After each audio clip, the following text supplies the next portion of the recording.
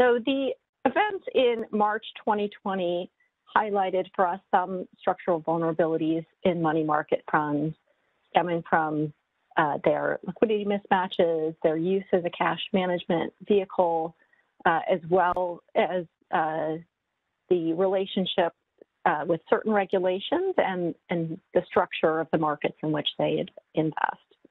As I mentioned, we, the FSB published a consultation report at the end of June, and Hyun in just a moment is going to give a couple introductory points uh, of the report before we kick off our discussion. And when the working group prepares the final report, it's certainly going to take into account the feedback received both today as well as in written responses that I encourage all of you to submit. And I'll just note that there's an August 16 deadline for those submissions. So our purpose today is, is not to spend too much time on the, the consultation report that we've put out. We hope everyone has read that. It's really to hear back from you. So even though we're going to start out with a brief overview, we're going to do that only briefly so that we maximize our time for discussion. So today we're going to focus on two topics from the report. First, are proposals to money market fund resilience and assessment of those options in the consultation report. And then the second is considerations in selecting policy options, both in terms of those that should be taken into account when selecting specific policy options, as well as whether there are appropriate combinations that we should be keeping in mind. In each session, we've asked a few speakers to give some introductory kickoff remarks, but I should stress that this is really meant to be an interactive discussion. We expect those will be brief. Um, and we expect that where there are questions, that it's going to be really free form from there on out. We uh, really encourage people to actively participate in, the, in this discussion. Hopefully, many of you are familiar at this point with the raise hand button in WebEx. If not, uh, please email the host, Dominique, and ask for assistance and ask that people use that. That's how we're going to recognize people to speak. And then we also encourage people not just to raise their hand when they speak, but then to unraise it, put it down when they're done so that we know we've called on you and can move on to the next person. Uh, we will try and give as many people as we can an opportunity to speak. Um, so again, uh, please make sure you, you make your comments brief so that others can all make sure that they're able to get in their responses as well. I'll note that we are recording the event today and we may publish it on the FSB's website. So uh, with that, uh, I guess one last remark that I feel like goes without saying, but we all forget this even this long in, is to unmute yourself when you're speaking and then mute yourself when you are finished. So with that, I will hand it over to uh, Hyun to go over these slides that we've sent out to all of you. Thank you, Sarah. Good morning um, and greetings, everyone. Let me add my welcome to uh, to those of Sarah for um, uh, to all of you for for joining us. I'm I'm Hyun Song Shin. I'm the BIS economic advisor and the head of research. Um, and I had the pleasure uh, of um, of working with uh, Sarah on uh, um, on this um, on this particular exercise. Um, Dominic, maybe we can go straight to um, slide two. Uh, so uh, as Sarah said, this this consultation report um, uh, is is part of a uh, of a broader work program of the FSB on non-bank financial intermediation, um, and it's also intended to inform the policy recommendations um, that were previously issued by IOSCO and um, to uh, to inform any jurisdiction-specific reforms that might uh, be deemed necessary uh, in the light of uh, in the light of the events uh, last year. Um, Dominique, can we next slide? But the first thing to note is that money market funds are not uh, a homogeneous. Um, you know, it's not homogeneous across across jurisdictions. Um, at the end of 2020, uh, the worldwide assets under management uh, in money market funds totaled almost $9 trillion, um, as you see in the left-hand panel here, $8.8 trillion. Uh, the US is uh, by far the largest market with 4.8 trillion, uh, followed by China. Uh, and then uh, you also see that uh, some, Euro some European jurisdictions are also quite large, Ireland, France, and Luxembourg in that order. but um, there are some some differences clearly because in the US, government MMFs, which invest in sovereign and other government securities and repos, backed by them account for most of the sector's as uh, assets under management. In other, in other, in the other jurisdictions, the non-government funds are uh, are more prevalent. Um, one issue that uh, uh, I'll come back to again shortly is that uh, money market funds are usually denominated in local currency, um, but uh, the exception is in Europe, where um, dollar-denominated funds account for around one third of the total assets under management. And uh, it's it uh, this underscores the importance of money market funds as uh, dollar funding vehicles for the banking sector. Um, and uh, this uh, uh, feature bears on the potential policy options, um, as we'll see later. Next slide, please. So just to give you a sense of the, the issues that come up, um, this is a flowchart that uh, is in the report. Uh, you should read this as um, uh, the funds um, originating on the right-hand side. Um, so the uh, the investors are on the right-hand side of this chart. Uh, the ultimate borrowers are on the left-hand side. the money market funds are in that dotted line box um, in the in the middle. Um, they and I think what this chart shows is that uh, um, they are important providers. Uh, uh, they are important providers of short-term funding for um, for both uh, financial institutions, um, especially dollar funding for banks headquartered outside the U.S., uh, but also uh, non-financial corporates and and governments. Um, the other aspect that you see on the right-hand side is that they're also used by retail and institutional investors um, as um, uh, as cash management vehicles. Um, and while MMFs invest mostly in short-term debt instruments, um, the shares are redeemable on demand, uh, and many investors tend to treat um, uh, MMFs as cash-like. Uh, in terms of the assets, non-public debt MMFs are particularly active in the commercial paper market, but also in the negotiable certificates of deposits market and also in repos. Um, and one feature that we describe in the report is that the secondary markets for CPs and CDs are generally not uh, um, uh, very liquid. Um, um as investors, including MMFs, tend to buy and hold these instruments uh, to maturity. Next slide, uh, please, Dominique. So money market funds are subject to two broad types of vulnerabilities that uh, can be mutually reinforcing.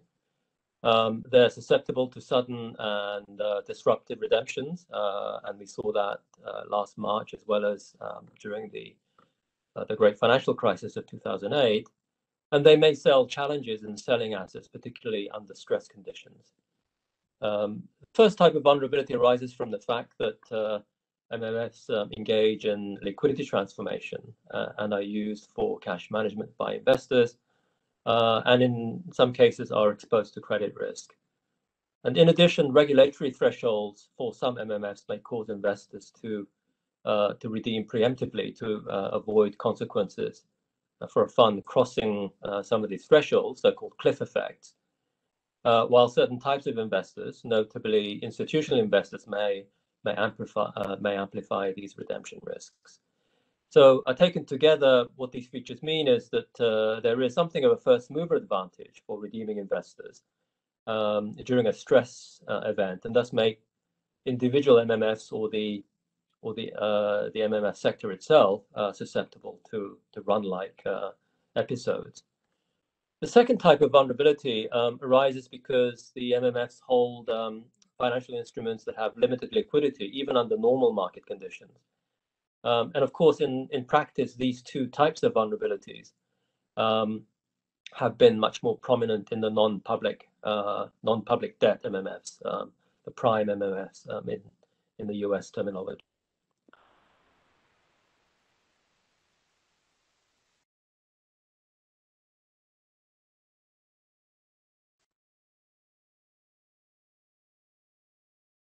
I wonder, Dominic, whether we can move to the next slide.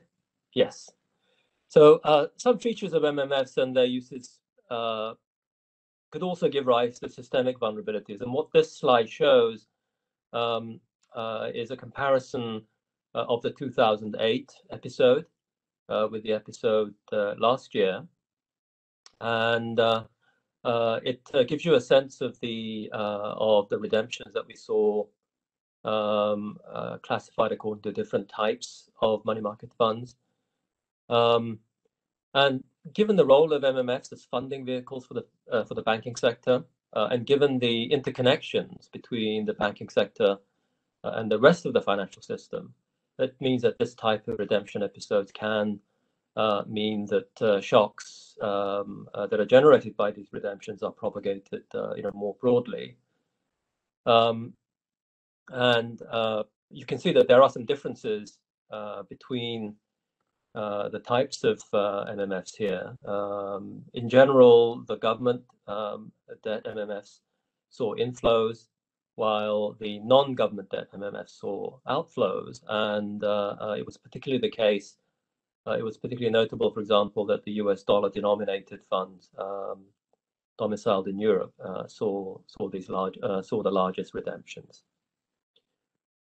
Let's move to the uh, next slide, Dominic. So what we do is um, uh, we uh, we consider a wide range of uh, policy options to address these vulnerabilities, and uh, we examine how uh, the policy options would affect the behavior of investors, the fund managers, and the sponsors, um, as well as how these policy options might impact the broader short-term funding markets. Um, and uh, we give some weight to potential substitutes for MMFs and how the structure of the market itself uh, might be impacted. Uh, what we do is, um, Dominic, next slide.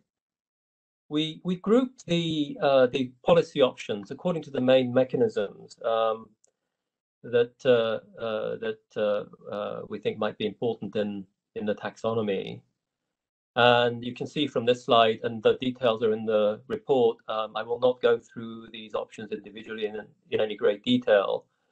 Um, but in this table, which is taken from the report, um, the color coding gives you a sense of the the um, the intended mechanism through which um, uh, we could achieve greater resilience. Um, and uh, so just to give you the headings, uh, the, uh, we classified the options according to seven so-called representative options. Um, so here the swing pricing, uh, minimum balance at risk, the capital buffer, removal of ties between regulatory thresholds and imposition of gates and fees, uh, removal of stable NAVs.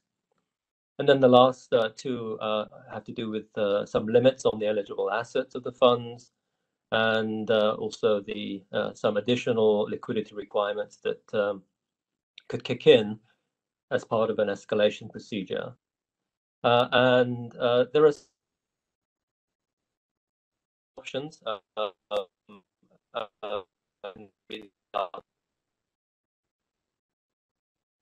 there are some some variations of, um, uh,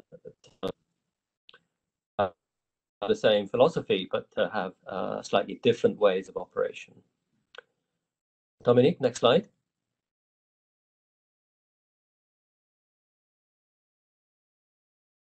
Go through uh, a, um, uh, a set of uh, questions that we uh, that we apply to each of these policy options. Uh, we describe the the option itself, what uh, it intends to do. Uh, and then we look at the impact on investor behavior, um, as well as um, uh, on fund managers and sponsors.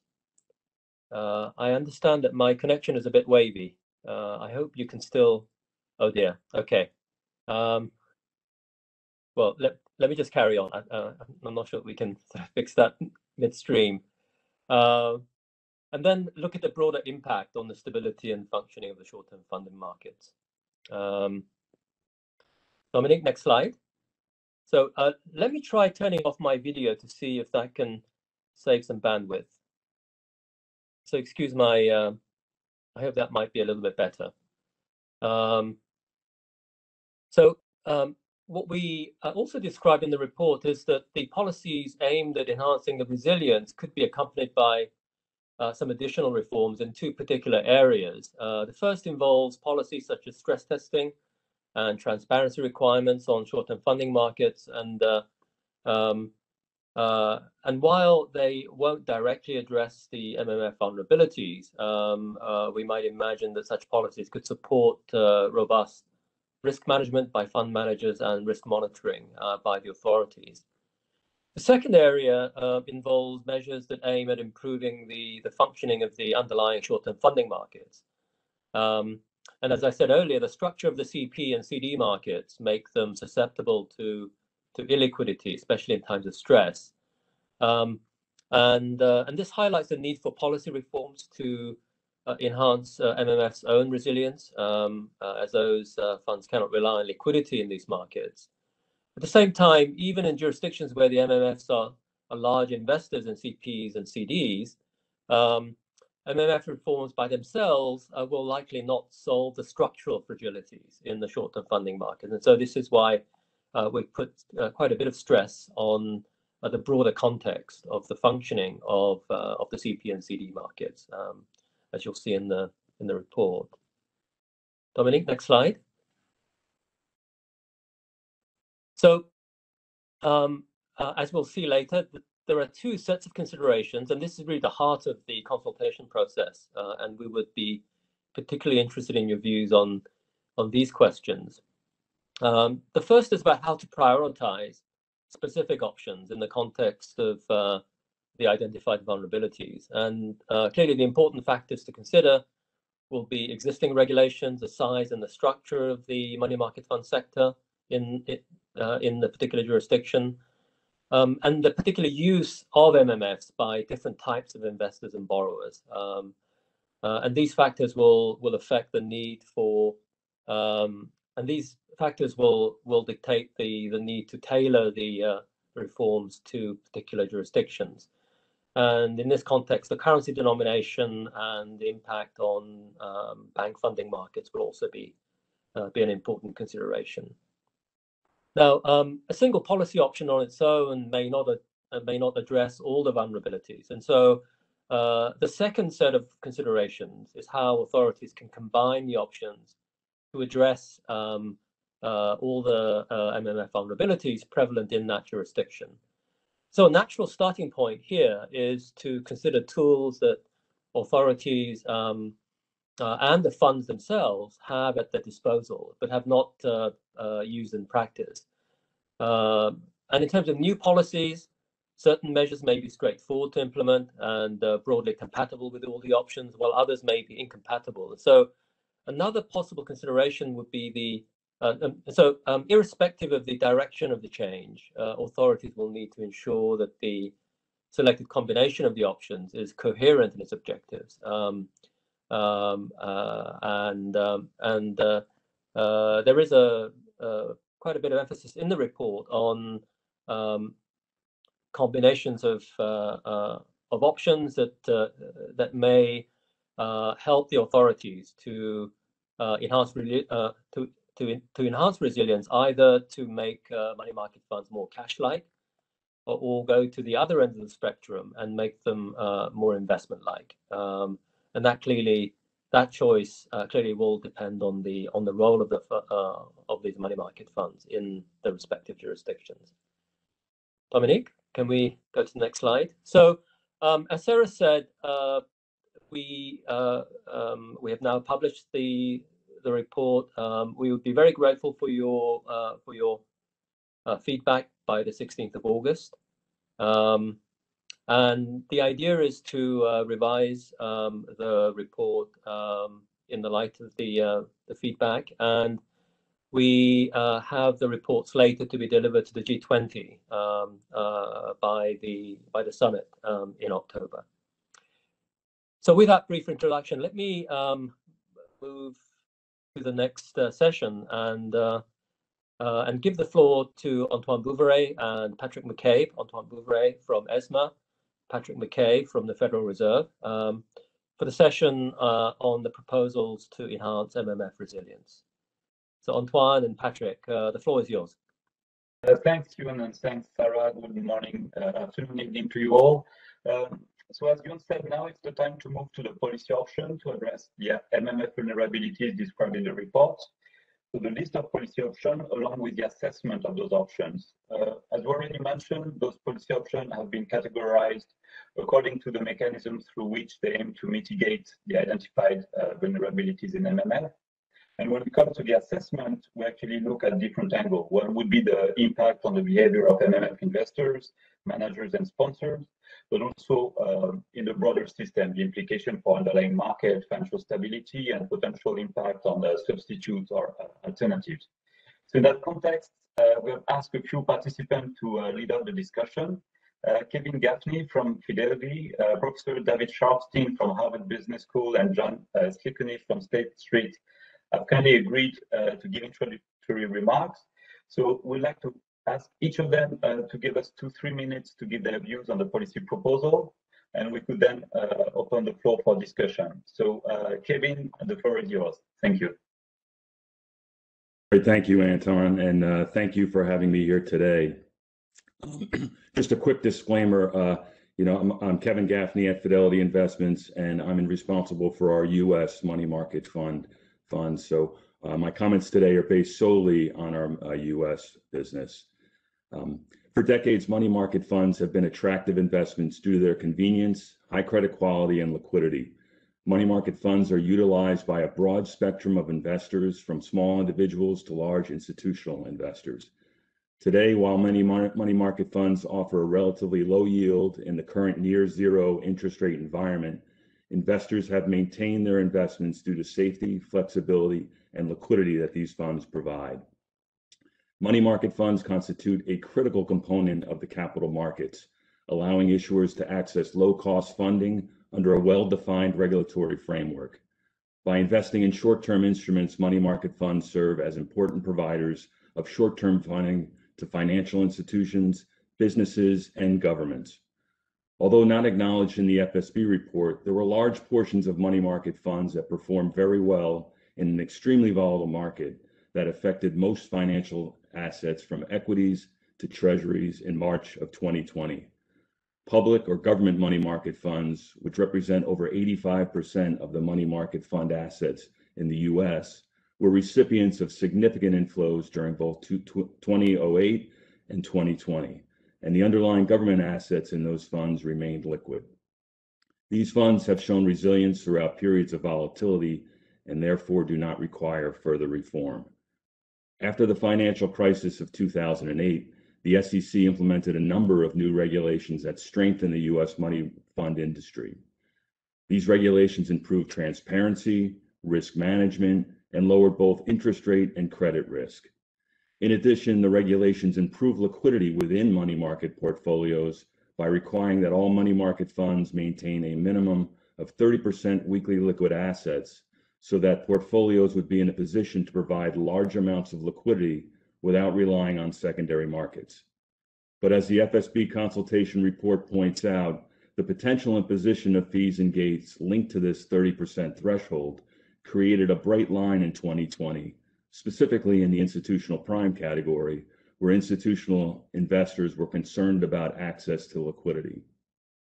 The fear of a redemption gate being applied negated the benefits such higher liquidity levels would have otherwise provided and likely accelerated the redemptions in institutional prime funds. In reviewing the options that the FSB report has outlined, we believe that those that are targeted at providing liquidity within money market portfolios would be most effective. Removing the ties between regulatory thresholds and imposition of fees and gates would likewise allow fund managers to access this large pool of liquidity to meet redemptions without the need to sell assets. We believe that delinking of fees and gates from the 30% weekly liquid threshold should be an essential part of any reforms, but acknowledge that the additional measures could also be implemented to further enhance the resilience of money market funds. Other options outlined in the report that should be considered are countercyclical liquidity requirements, limits on eligible assets, and changes to liquidity buffers based on its own fund characteristics. Calibrating liquidity buffers based on investor behavior should be an important consideration of any reforms. The FSB report also identified swing pricing as a potential option that could reduce the likelihood of destabilizing redemptions by imposing a cost on redeeming investors.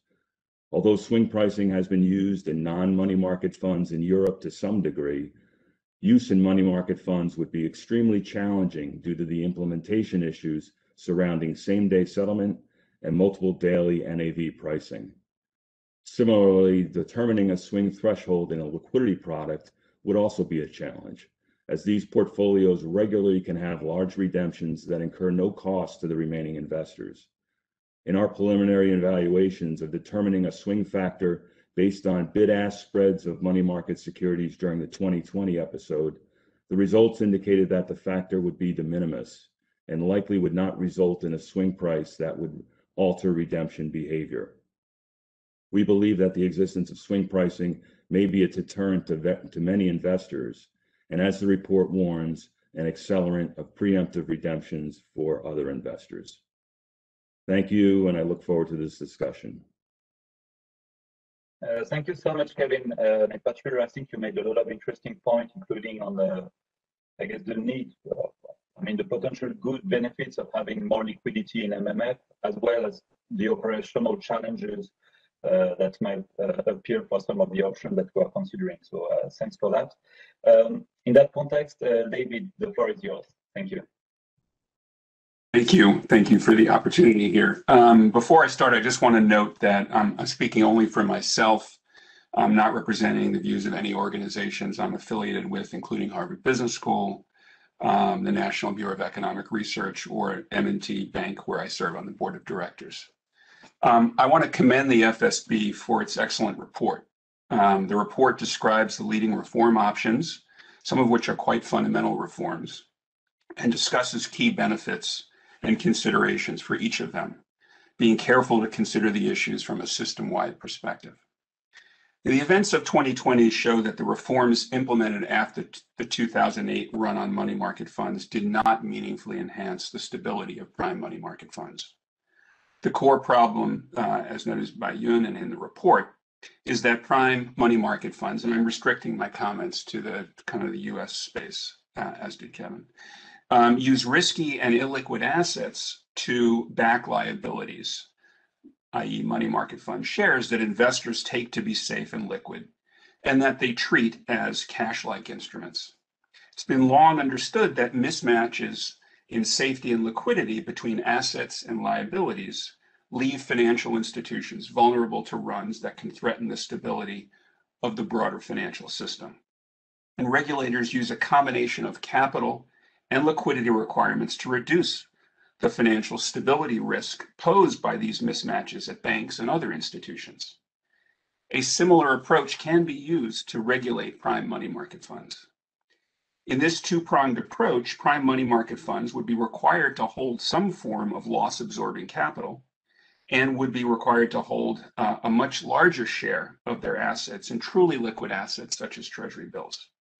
Properly calibrated, this approach can address two key objectives of money market fund regulation outlined in the FSB report, namely reducing the incentive to run, enhancing the ability of money market funds to withstand a run. Now, there are a number of ways to implement a capital regime for prime money market funds. One approach would be for prime money market funds to issue issue a subordinated share class that would absorb losses before ordinary money market fund shareholders. In exchange for bearing these potential losses, the subordinated shareholders, longer-term investors who are willing to bear losses, would be paid a premium over the yield Uh, on the assets in the money market fund in normal times. Mm-hmm. Using standard risk models, my colleagues Sam Hanson, Adi Sunderam, and I provide estimates of how big this share class would have to be to protect ordinary money market fund shareholders, and we estimate its likely cost. There are other ways to implement a loss-absorbing capital um, regime. Um, in all the options, money market fund uh, investors would be required to pay third private party, uh, private entities or investors in advance for protection rather than getting it for free from government after the fact, as happened both in 2008 and 2020. The second prong of the approach is to enhance the asset liquidity of prime money market funds. Like banks, liquidity should include high quality liquid assets, which for money market funds would consist of treasury bills, not short term financial CP and CDs. This approach might also imply that money market funds that have more run prone investors, for example, investors that move in and out of funds, should be required to hold more liquidity.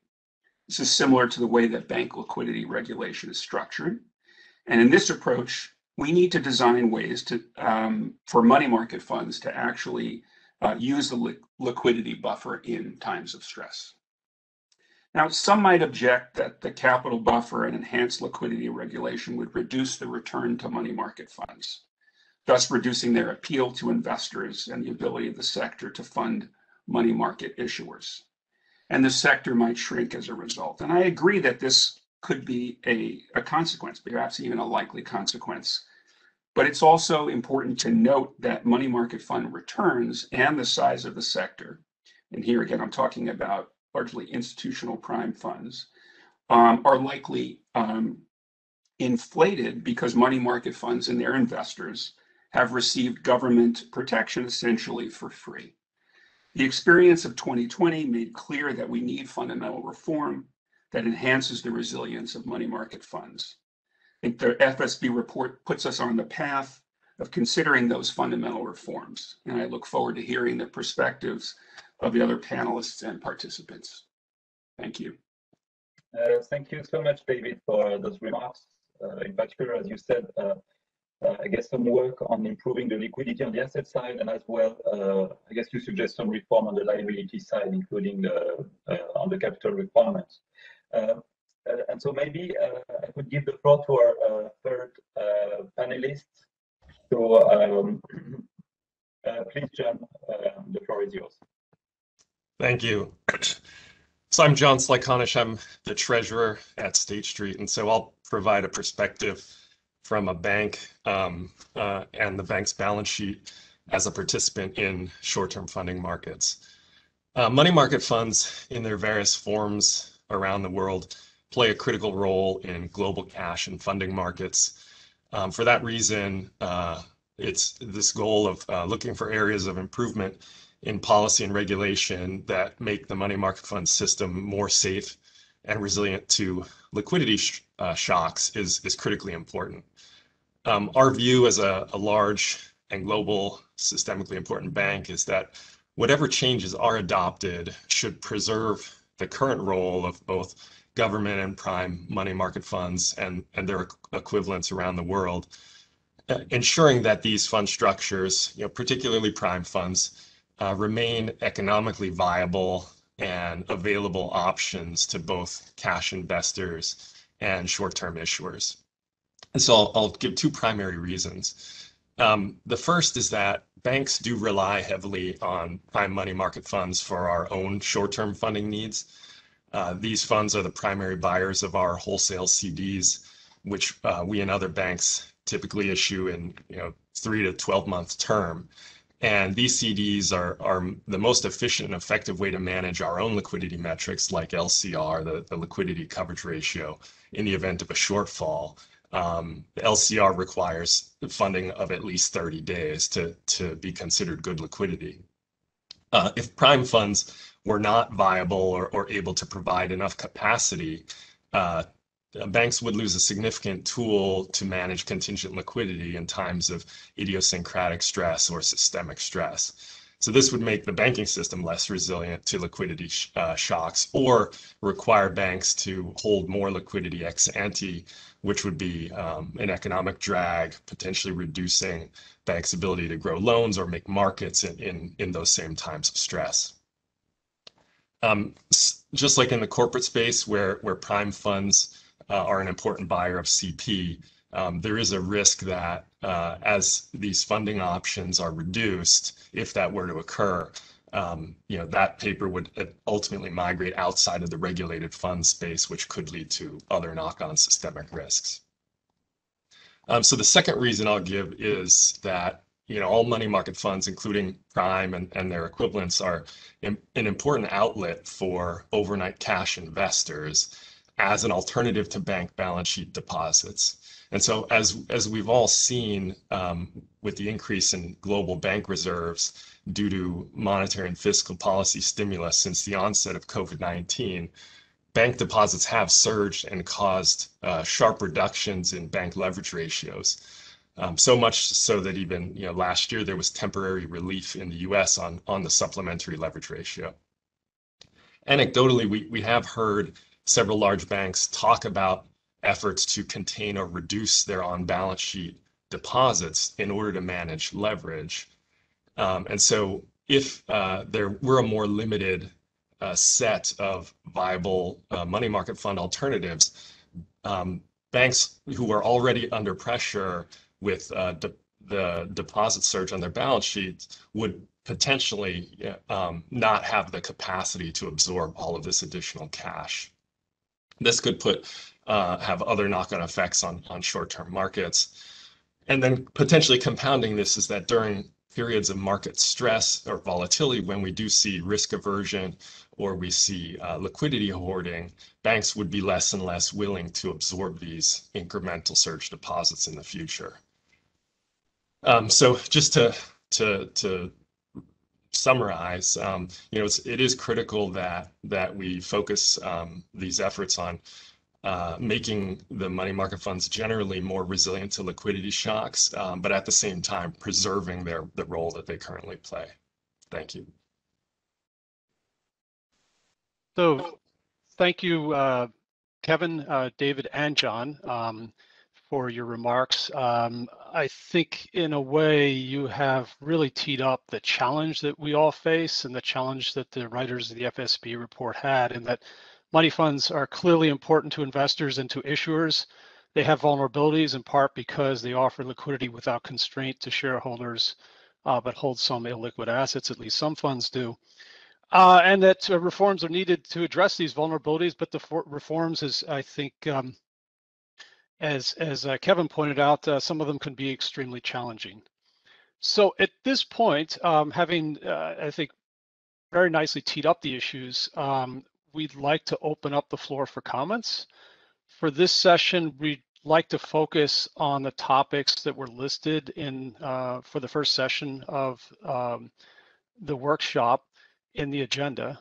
Uh, the consultation reports description of, of money fund vulnerabilities, the report's policy proposals to enhance money fund resilience, uh, the report's assessment of those proposals, and uh, what you've just heard from the discussants uh, to uh, to make this work, we'd like to have uh, folks press the virtual hand symbol to the right-hand side of your WebEx screen if you'd like to comment.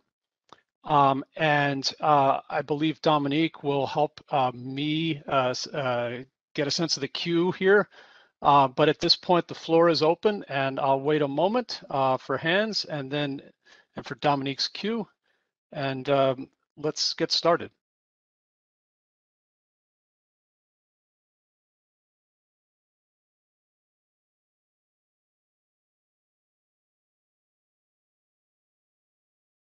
Dominique, I'm going to just begin uh, just to get things started. I see a hand immediately from Mark Carey, so I'm going to ask uh, Mark.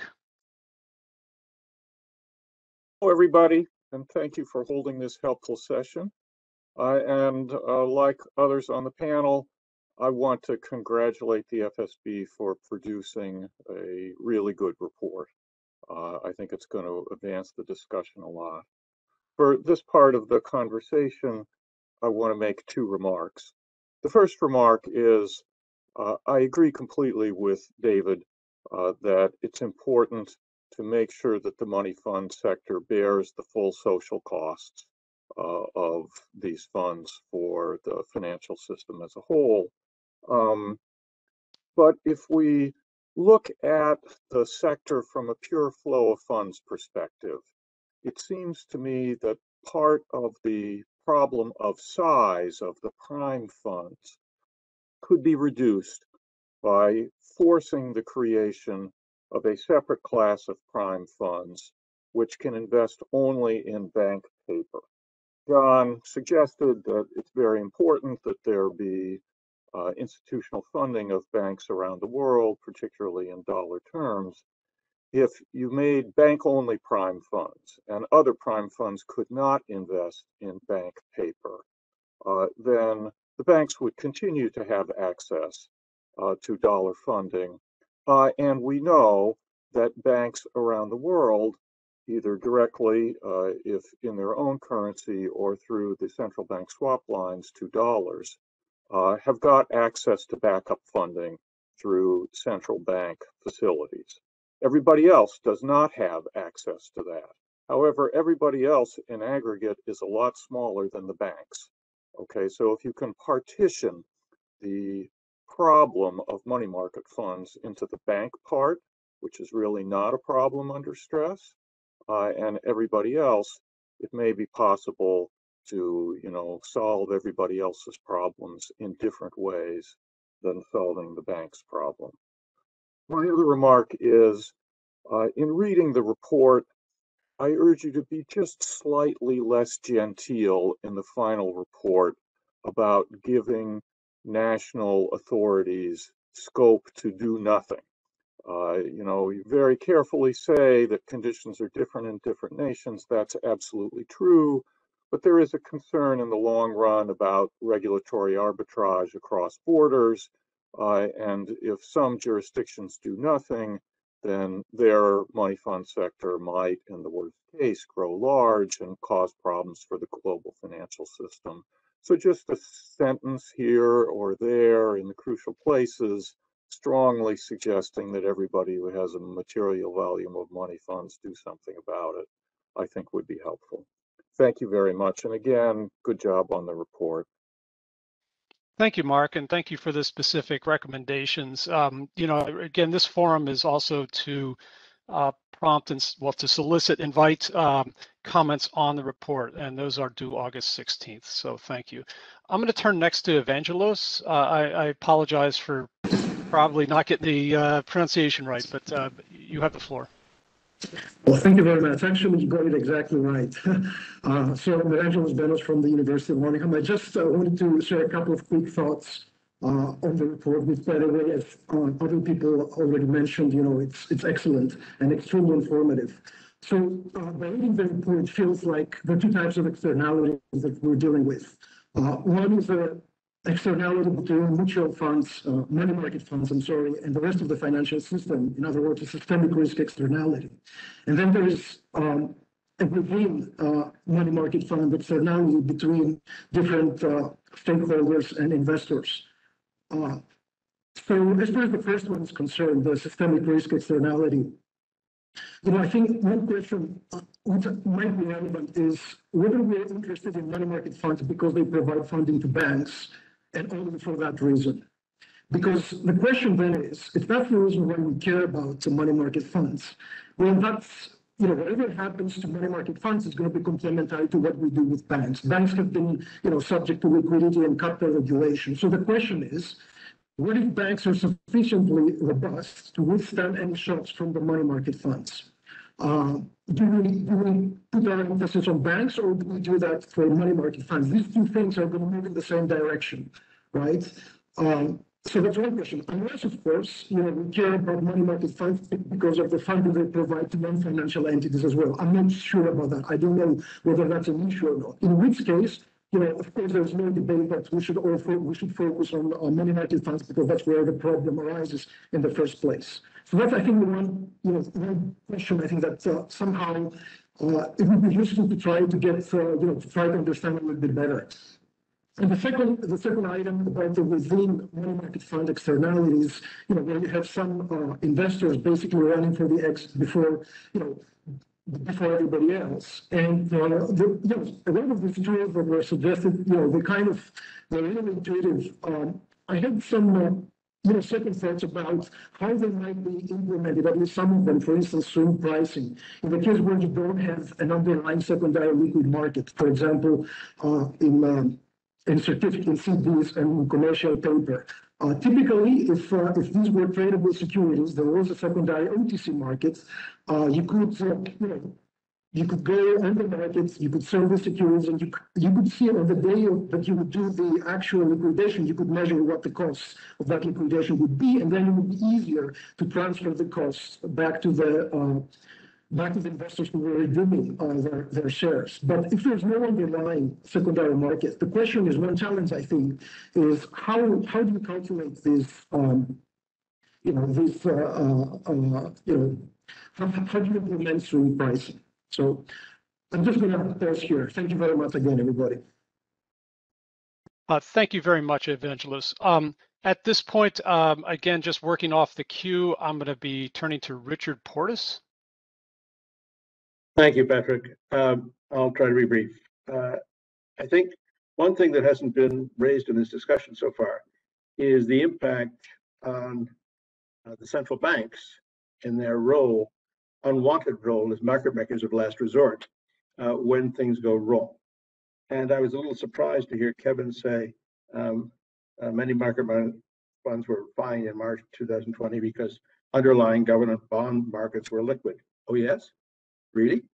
Uh, uh I thought there were some problems in the treasuries market, if I recall correctly. Um, and indeed, um, uh, the central banks did have to act, um, not just in the US. Um, and the second point that I'd like to make uh, is about, um, in a sense, the holy grail here. Uh, it's the same as the holy grail in Too Big to Fail. Um, and that is how do you get uh, institutions, uh, funds, whatever, to pay for the moral hazard that they uh, that they generate. Uh, and um, David said uh, that uh, yes, if the money market funds had to pay ex ante for the kind of protection that we're talking about, that he was talking about, um, that would lower their returns. The sector would shrink, and maybe it's now inflated. Indeed, indeed, quite so. And I think that's something we have to take very much to heart. That uh, in a world in which these institutions, in which the money market funds really were paying fully for the costs that they might impose on the rest of the system, um, they might die. Their business model might become totally unviable. Uh, and um, I don't know whether David and his colleagues have investigated the costs um, and what the consequences would be for returns to the funds. But this is something I think we have to keep in mind. Thank you. Uh, thank you very much, Richard. Um, and you raised some fascinating questions that uh, we have discussed in the past um, about the, the cost of capital buffers, uh, for example, uh, but it's a broader question about externalities. Um, I want to, at this point, uh, turn to Michael. Um, and again, I probably don't have the pronunciation right, but Michael Pacot. Yes, hello. Uh, Michael Pacot from AXA Investment Managers. Um, I've gone through the report and uh, frankly, uh, a lot of, of aspects uh, have been analyzed. Uh, the impact of the crisis on money market funds, uh, what they call uh, the, the, vulnerabilities. Still, I have comments. One is linked to what I would call the elephant in the room. I think uh, and very accommodative monetary have not really been assessed uh, what are the side effects, uh, asset price bubble, uh, impression that markets are liquid while they are not so liquid, difficulty to assess market risk even for market funds. And frankly, it was pretty difficult to uh, to understand that uh, we would face a liquidity crisis, uh, especially in Europe, when you, you see all this excess liquidity in the system. So first point. And, and, and the other thing is, uh, is linked to the fact that uh, the, the CP market was the only market where central banks were not intervening. So the other markets, be it MBS, treasuries, ABS, uh, corporate bond in Europe, uh, were uh, helped by, by the ECB intervention or by the Fed intervention. And maybe that's something to take into account because that's where uh, we had some uh, lack of liquidity. So CP market was illiquid, maybe because it took too much time for central banks to, to join and, and to, to intervene. So it was my two comments. Thank you very much, Mikhail. Um, I believe Tom uh, Callahan has been waiting patiently. Uh, Tom, you have the floor.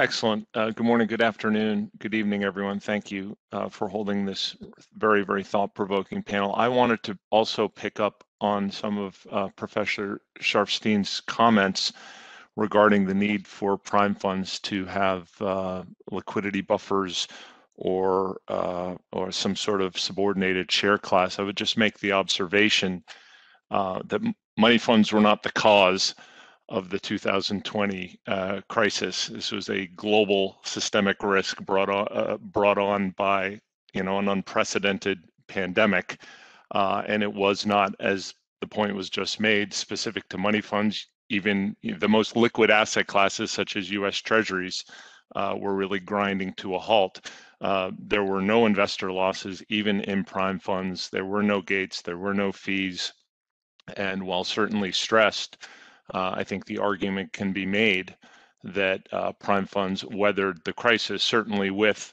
uh, uh, the, the, the substantial help of central banks globally. But I think that could be said of a lot of asset classes. So I think just uh, singling out uh, money funds for these types of um, reforms uh, may not be appropriate. Uh, Professor Scharfstein also said that money funds hold risky in illiquid assets. And, and I would challenge that. Um, money fund assets are not risky if you look at historical default rates of things like uh, commercial paper, uh, but they are illiquid. And I think that gets to the bigger and frankly most important topic uh, that we should be thinking about here. Uh, the 2020 COVID crisis was a liquidity crisis, not a, a credit crisis. Uh, markets simply uh, ceased to function regardless of the uh, credit quality of underlying assets. Uh, and, and that's a, a challenge uh, that will continue even if we head down the road of putting reforms into prime funds that have the effect of essentially canceling the product. Uh, we will be right back in five or 10 or 25 years after the next crisis uh, wondering why uh, money funds, uh, money markets, excuse me, once again went into crisis uh, and required central bank support. The CP market simply doesn't function uh, in times of market crisis because it relies on bank balance sheet. Uh, we've seen time and time again that in times of crisis, banks close their balance sheet, and so holders of CP can't sell.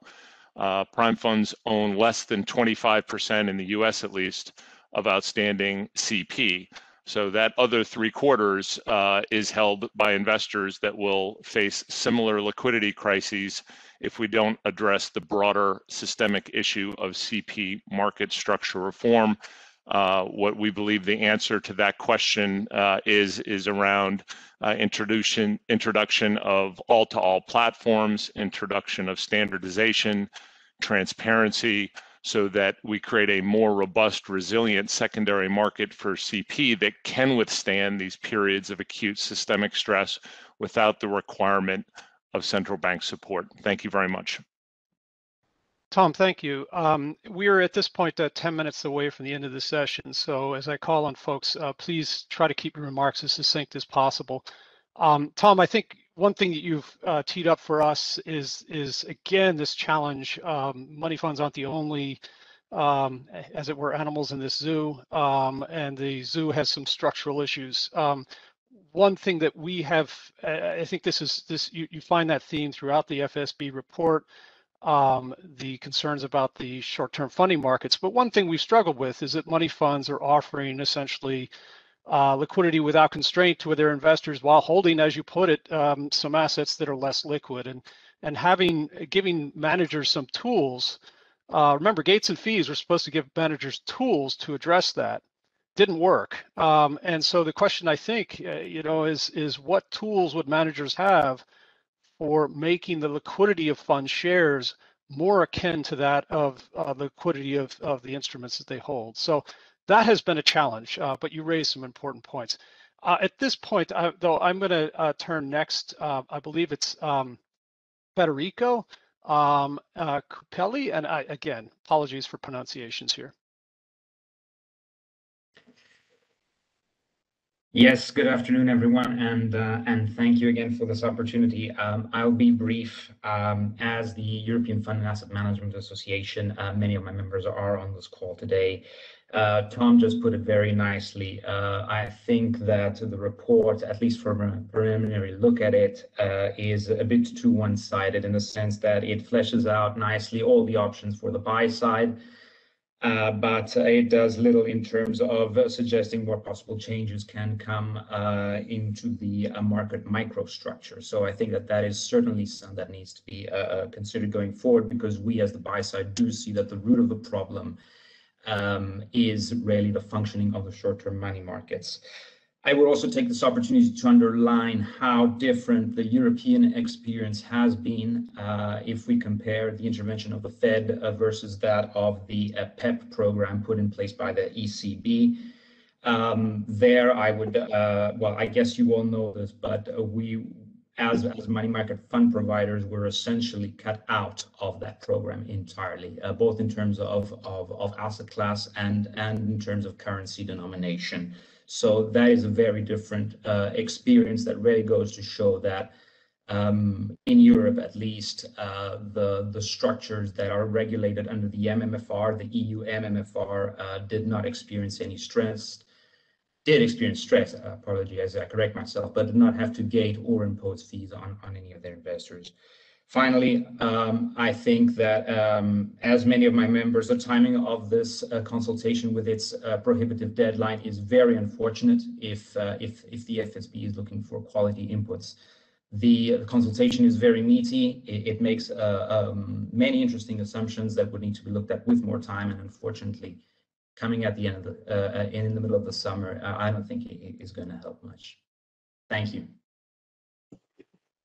Uh, thank you, Federico. Um, and next, I'm going to turn to Thierry, uh, and and I, I apologize again. I, I can't pronounce your last name, but uh, I believe it's uh, Piloponat. Or help me out.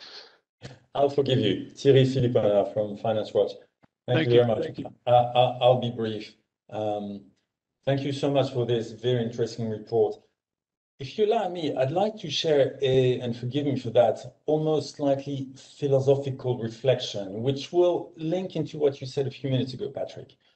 Reading the report, it struck me that effectively we're trying to solve an impossible equation.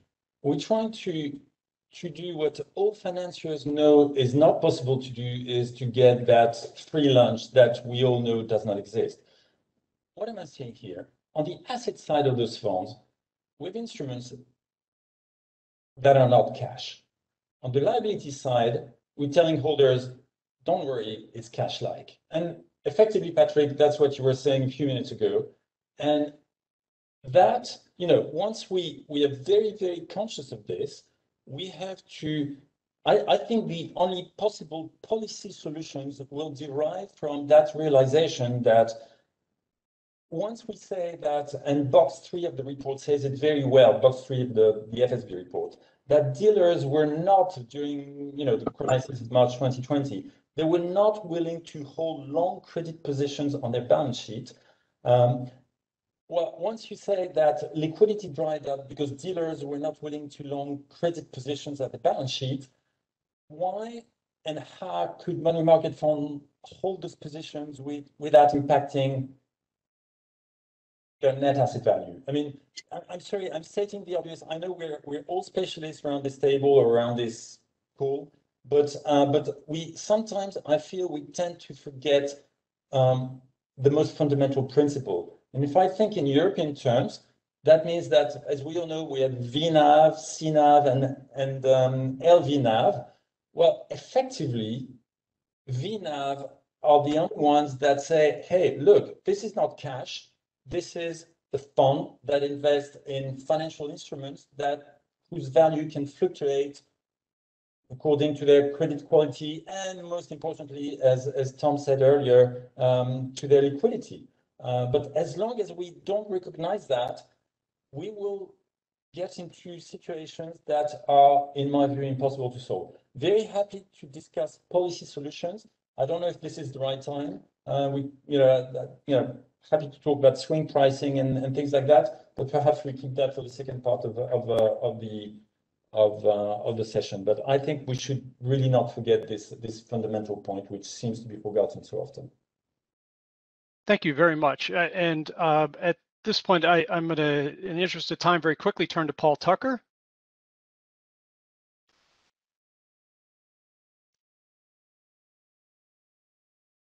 Can you hear me? Yes, indeed. Okay. Um, well, it's a very good thing that this report has been produced, so thank you very much for, for that. Um, I'm with those who have struck the tone that it's about 10 years too late, um, but that it's a great relief that the events of March last year prompted its review. For what it's worth, I think it would be, in terms of a test of whether you're going to kind of adequately solve this problem, I think I would work backwards from um, if you do all or any of these things and you do them um, kind of comprehensively across the main jurisdictions, um, will you have will you have crushed the probability that next time there is difficulty, the state will come in and underpin money market funds?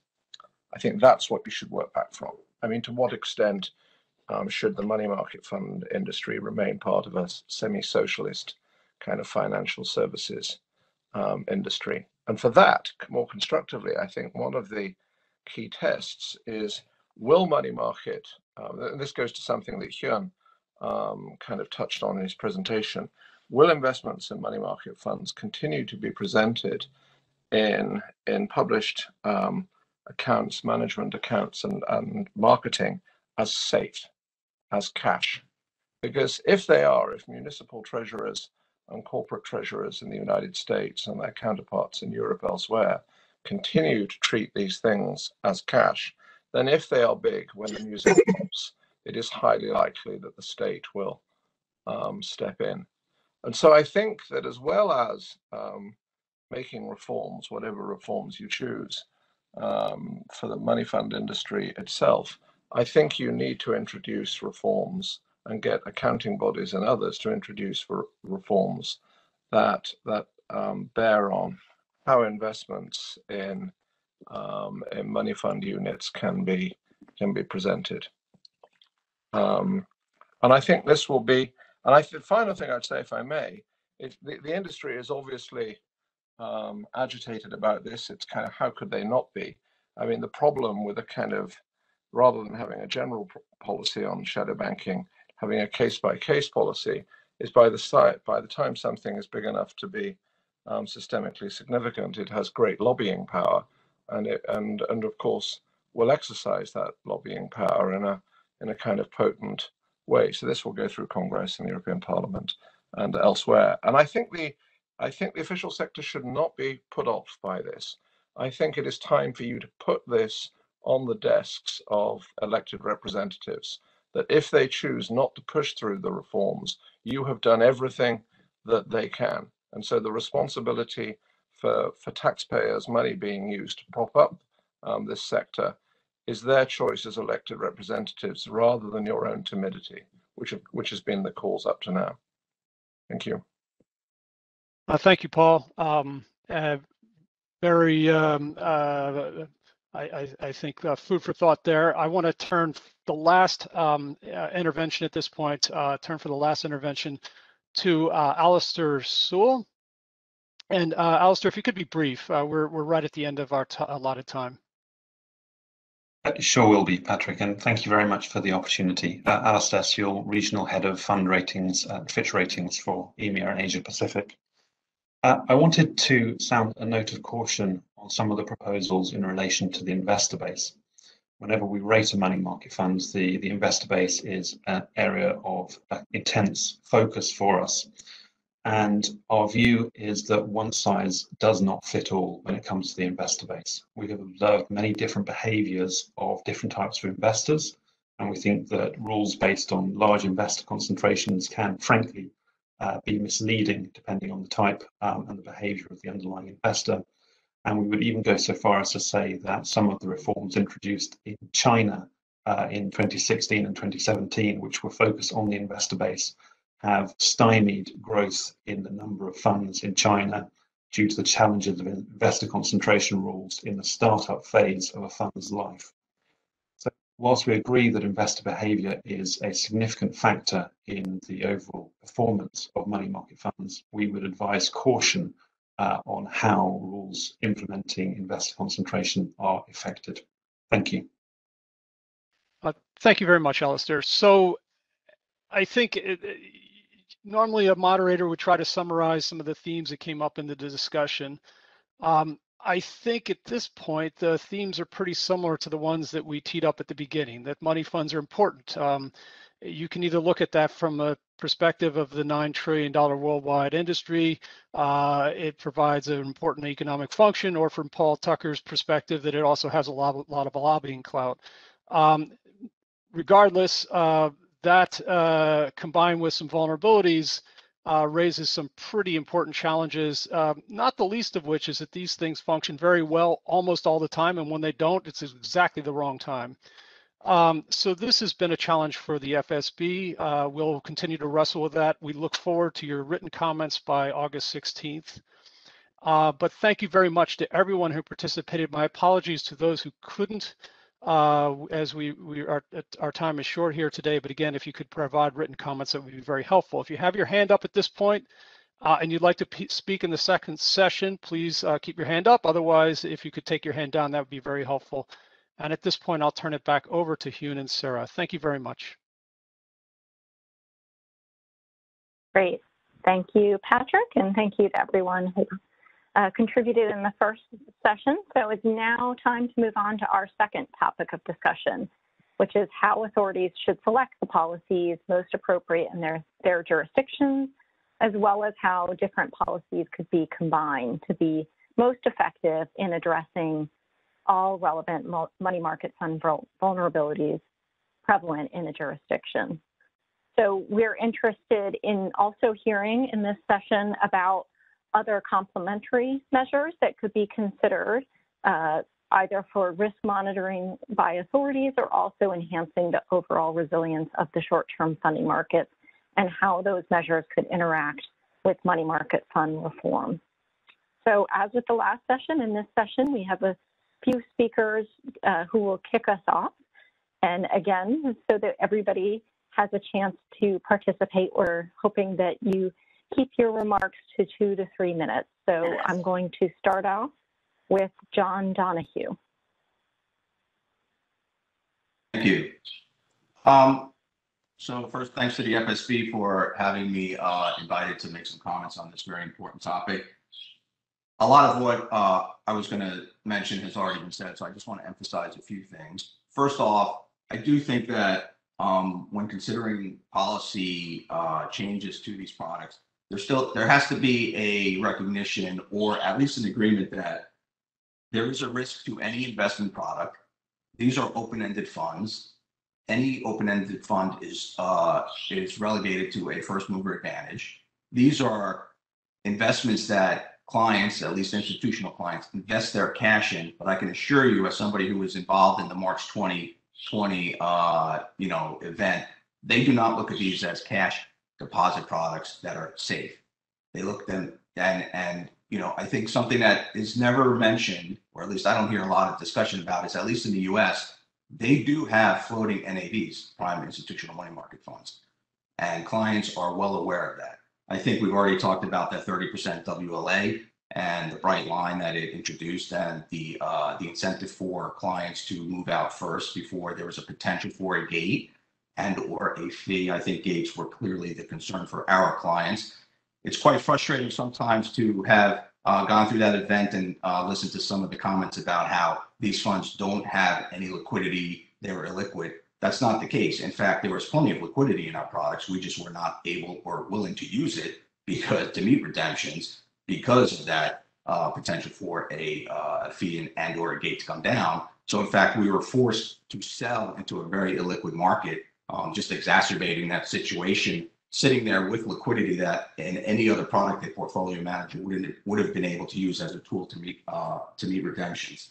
I do think that there has to be a recognition or at least an agreement again that the functionality and utility of these products are something that we want to keep and preserve um, for both the people that or institutions that invest in them as well as the function they bring to the market as it's been mentioned for uh, funding CP, Yankee CDs, municipalities in the US, one of the things that uh, doesn't get a lot of uh, discussion around uh, this, this group. And if that's the case, then I think you need to consider the complexities of some of the uh, and operational costs of some of the uh, proposals in the FSB um, report. Those uh, primarily being uh, minimum balances at risk. That was something that was looked at back in 2010 and after uh, the, the GFC. Uh, there was a 3% proposal around M- MBR, and it just is not feasible. I can tell you right now, capital, the cost of capital relative to the yield um, that these products offer, it's it's not feasible. Capital buffers will not work. That will destroy these products. No sponsor is going to do that. It's not feasible. Um, and by the way, if you do that, you're making them like a bank product, which is exactly what I keep hearing. We don't want clients to believe it is. So um, I just think that's something that um, has been considered. We have done a ton of work on that. It just doesn't work. And then you get into the whole point of having to consolidate assets of the largest players onto their balance sheet, particularly if you're bank owned, as we are. Um, as far as jurisdiction, I think that there is a recognition that jurisdictions are different in the report. I think that's important. I think that um, you know we did see a difference in our euro and sterling that didn't have a government complement option as opposed to the U.S., uh, which I think is something that, that's interesting and considering. Swing pricing doesn't work. Uh, I do think that there is an option, or we have proposed something um, that would be uh, analogous to capital. However, it would be a redemption fee, uh, but it would be a modified redemption fee that would be uh, very prescriptive, uh, and you know clients would know about it, and we are happy to discuss that in more detail. But it would be a uh, you know would be something that I think um, actually allows clients who want to pay for liquidity, and our experience is they do uh, they are willing to do that in times of crisis to get to their cash. Um, and that capital then goes back into the fund to protect those shareholders that stay there. So I think that is a better way to think about how to get capital into the funds to protect the shareholders that are um, exposed to that first mover, uh, uh, you know, disadvantage um, at the expense of those that are willing to pay for the liquidity that they want at that time uh, through capital. I think the other thing, just and, and Tom Callahan brings this up, is you know there is a market structure issue here, and make no mistake about it that when a bank or a broker dealer will not bid on a piece of one week high quality commercial paper or CD that is credit worthy that in uh, you know everybody knows will pay par at maturity, whether a money market fund is trying to sell it, an ultra short fund is trying to sell it, or an emerging market bond fund is trying to sell it, if that's what they have their cash invested in, will not bid on that. That is a problem. That's not a problem for money from the money market fund. That's a bigger problem for market structure and I do think that that's something that needs to be considered. I will stop there. Great. Thank you, John, uh, for covering a wide range there. If I could turn next to Mikhail Prickle. Thank you, Sarah. We'll go through a few remarks. Uh, the first one, I've called it uh, Do Not Kill the Messenger. Uh, money market fund should be seen as a canary in the coal mine and, and should not be designated as the ideal culprit each time there is a crisis. Uh, thanks to money market fund and the stress they go through in terms of in time of crisis, authorities have, uh, are informed quickly about market disruptions. Thanks to well-organized cash management industry, well-identified investment vehicles, well-identified fund managers, authorities have highly valuable interlocutors to talk to. Uh, reform that would substantially alter the features of MMF could uh, lead to a massive switch to substitutes, and risk would move to areas more difficult to understand and to predict. The current escalation process between money market fund and, and authorities would be impaired and financial instability would certainly increase. My second remark is about uh, the precautionary principle. Uh, we should be careful not to go too far in our quest to try to address all the so-called uh, money market fund vulnerabilities. It would be a mistake to ask money market fund to operate on a daily basis as if they were in stress markets. It's not, it's not the case. This would be highly inefficient and detrimental to both investors and borrowers. We, should, we shouldn't find ourselves in a situation where indirect costs uh, of new measures outweigh by far the cost of what we don't want to avoid. My third remark is about the functioning of the underlying markets. It is absolutely key that investment funds can rely on the liquidity of the well and the well functioning of the underlying market in which they operate. Policy reform should absolutely focus on the way to reduce the fragilities of these short-term markets. Uh, I'm talking here about transparency, pricing, reporting about the volumes, the transaction, uh, all the data that are needed to have some this transparency. It, it should be public data because so far, uh, I would say only Banque de France, uh, to what I know, is providing the, this free data. And do we, really, do we really think that even if we were able to make money market fund more resilient, they could operate normally or ex nihilo while the functioning of the underlying markets remain impaired? I don't think so. My fourth remark is about what we should take into account to select the most appropriate policy option. Uh, it is important to assess what is called in the report the intended function of money market fund in the jurisdiction they operate. Um, do we want them to be more cash-like or investment-like? I think the answer to this question will be a key driver to, to select the priorities. We should also take into consideration existing domestic specificities of money market funds. For example, why in France there is no public CNAV MMF, why short-term money market funds represent only 15% of the total AUM of MMF, uh, why uh, there is only public debt MMF in the US, uh, while half of the European money market funds are not invested in local currencies. I mean, these questions have to be addressed. We should discuss very more, more closely with our clients. I mean, to, to understand what is their risk appetite, their accounting treatment constraints, because there is a cash equivalent, uh, cash equivalent classification that, that is a, a big driver in, in their choices. Um, and we should also consider the type of borrowers we want to finance. Uh, is it governments or is it the private sector? As it will have a big implication for the real economy and not for just for money market funds. And my last point is about liquid assets.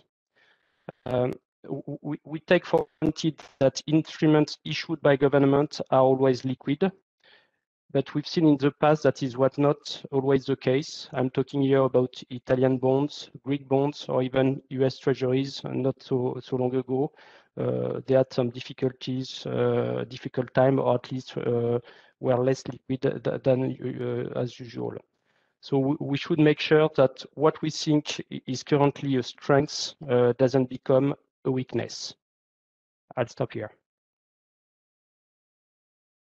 Great. Thank you for those remarks and uh, given us a wide range from uh, potential unintended consequences to market structure thoughts to uh, money market funds themselves. So uh, hopefully we'll get to dive into many of those topics as we continue. Next, I'd like to ask Andrew Metrick if he would come in. Hi, thank you. Can you hear me?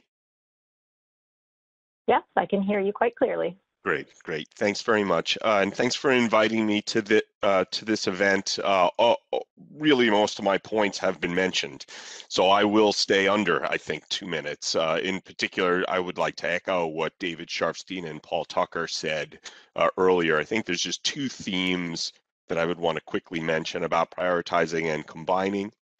The first is that uh, rules and regulations that come into effect only during stress times are going to tend to emphasize and be more pro-cyclical. They're going to amplify things that we had. So, so the gates and fees, for example, which were very well motivated, I think we did learn that uh, in many ways, they're they're just going to make people act a little bit earlier.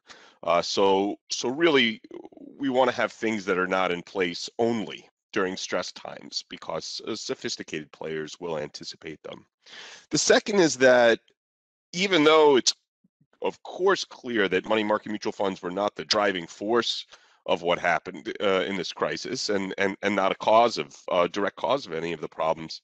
Think it's quite clear they did receive the benefit of uh, ex post uh, insurance uh, uh, that that the government came in and central banks came in and were aggressive and and and helped them in a way that they didn't have to pay for ex ante.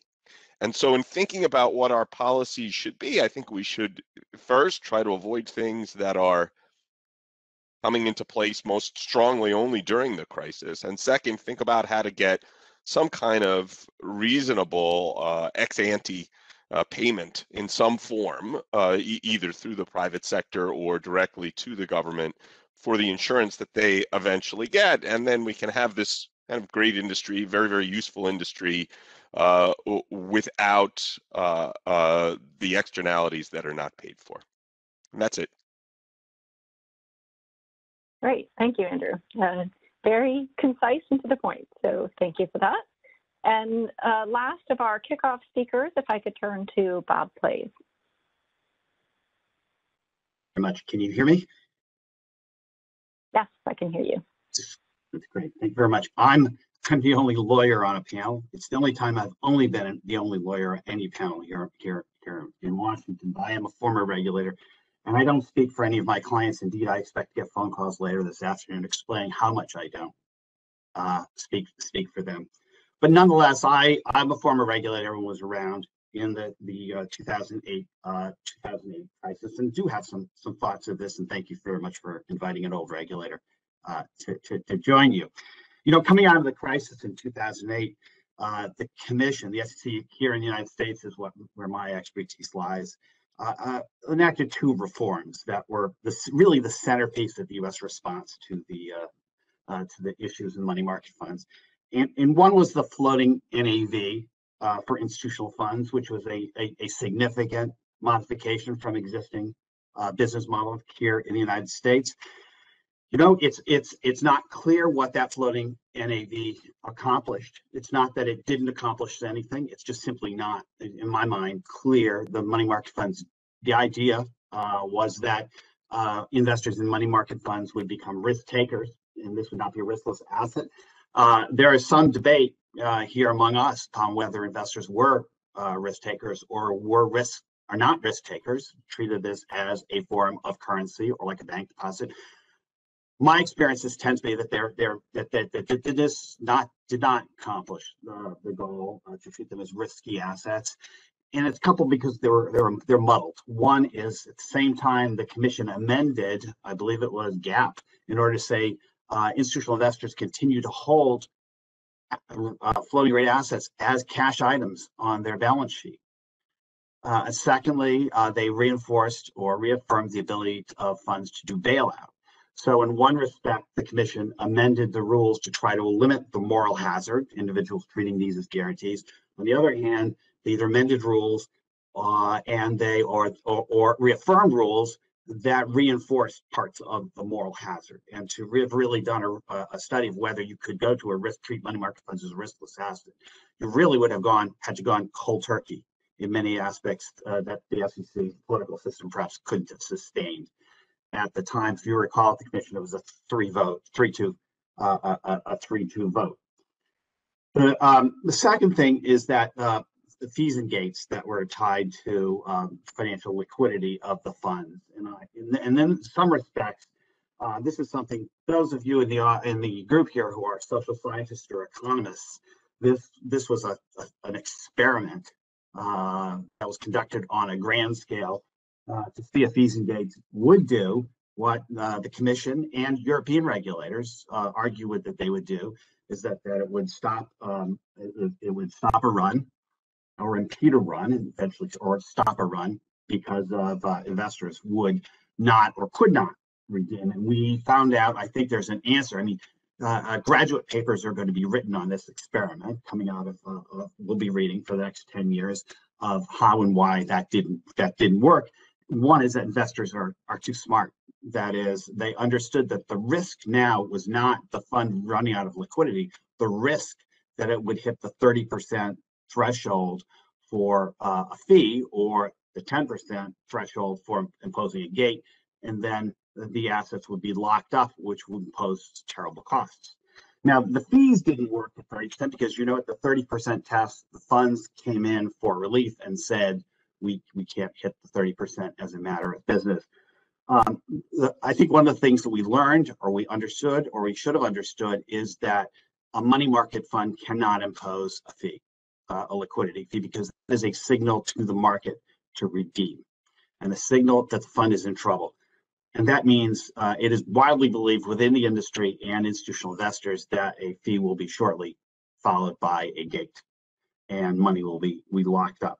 And I think that we have to think about that, those, uh, uh, so what the fees and the gates really did accomplish in many respects, and although this wasn't the intention, I, I think it was the shift of, of assets in the market away from prime and to government funds because the government funds did not have the fees and gates.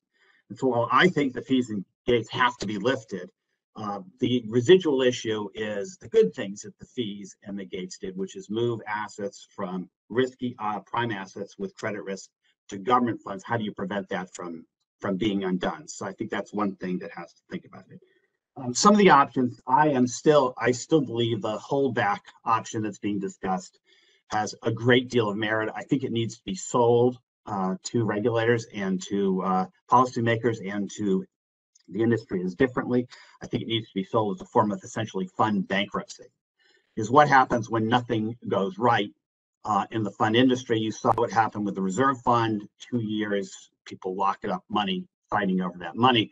One of the things the holdback does, it acts as a form of bankruptcy and allocates the assets and in some ways, like balances, has a clawback provision so that people who participated in the bankruptcy or in the run uh, um, um, bear greater the costs. That has the advantage of allocating the assets more fairly. It also has an advantage of discouraged participation um, in the run. But one of the things the March 30, the March 2020 taught us, and uh, none of the proposals uh, we were dealing with in 2010, 2014 area, is what happens when uh, uh, liquidity uh, locks up and including liquidity in, in, the government market. You know, the SEC or securities regulators do not have an answer for lack of, of liquidity. We cannot create liquidity. Uh, we can increase liquidity, and there's some thoughts here, discussions worthwhile just having an, a larger part of, uh, the prime funds be in perhaps government securities. Um, but one of the criticisms from the banking world is the moral hazards been created by the industry itself in bailing out the funds repeatedly. I was surprised in, in March 2020 when the Fed came in and provided the liquidity program because now the Fed has come in and provided liquidity twice in a crisis. And in the same way that money market funds now believe moral hazard that the fund industry will bail them out. Um, the uh, money money market fund investors probably believe that the Fed uh, will come in and provide liquidity the next time also, and they will invest accordingly.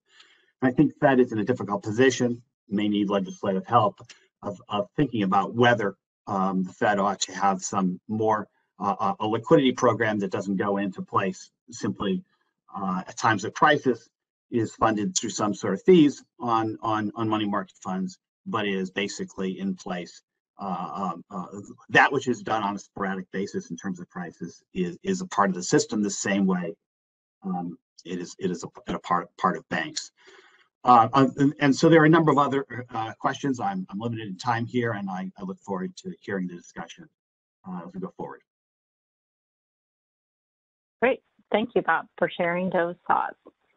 And now I'm going to open up the floor to comments from the rest of our crowd here today. Again, please use the raise hands uh, feature uh, so that I know the order to call on you. I will try not to miss hands. Um, and then if I can just ask you to lower when you're done so I can keep track, but I'm going to give a minute for folks to raise their hands.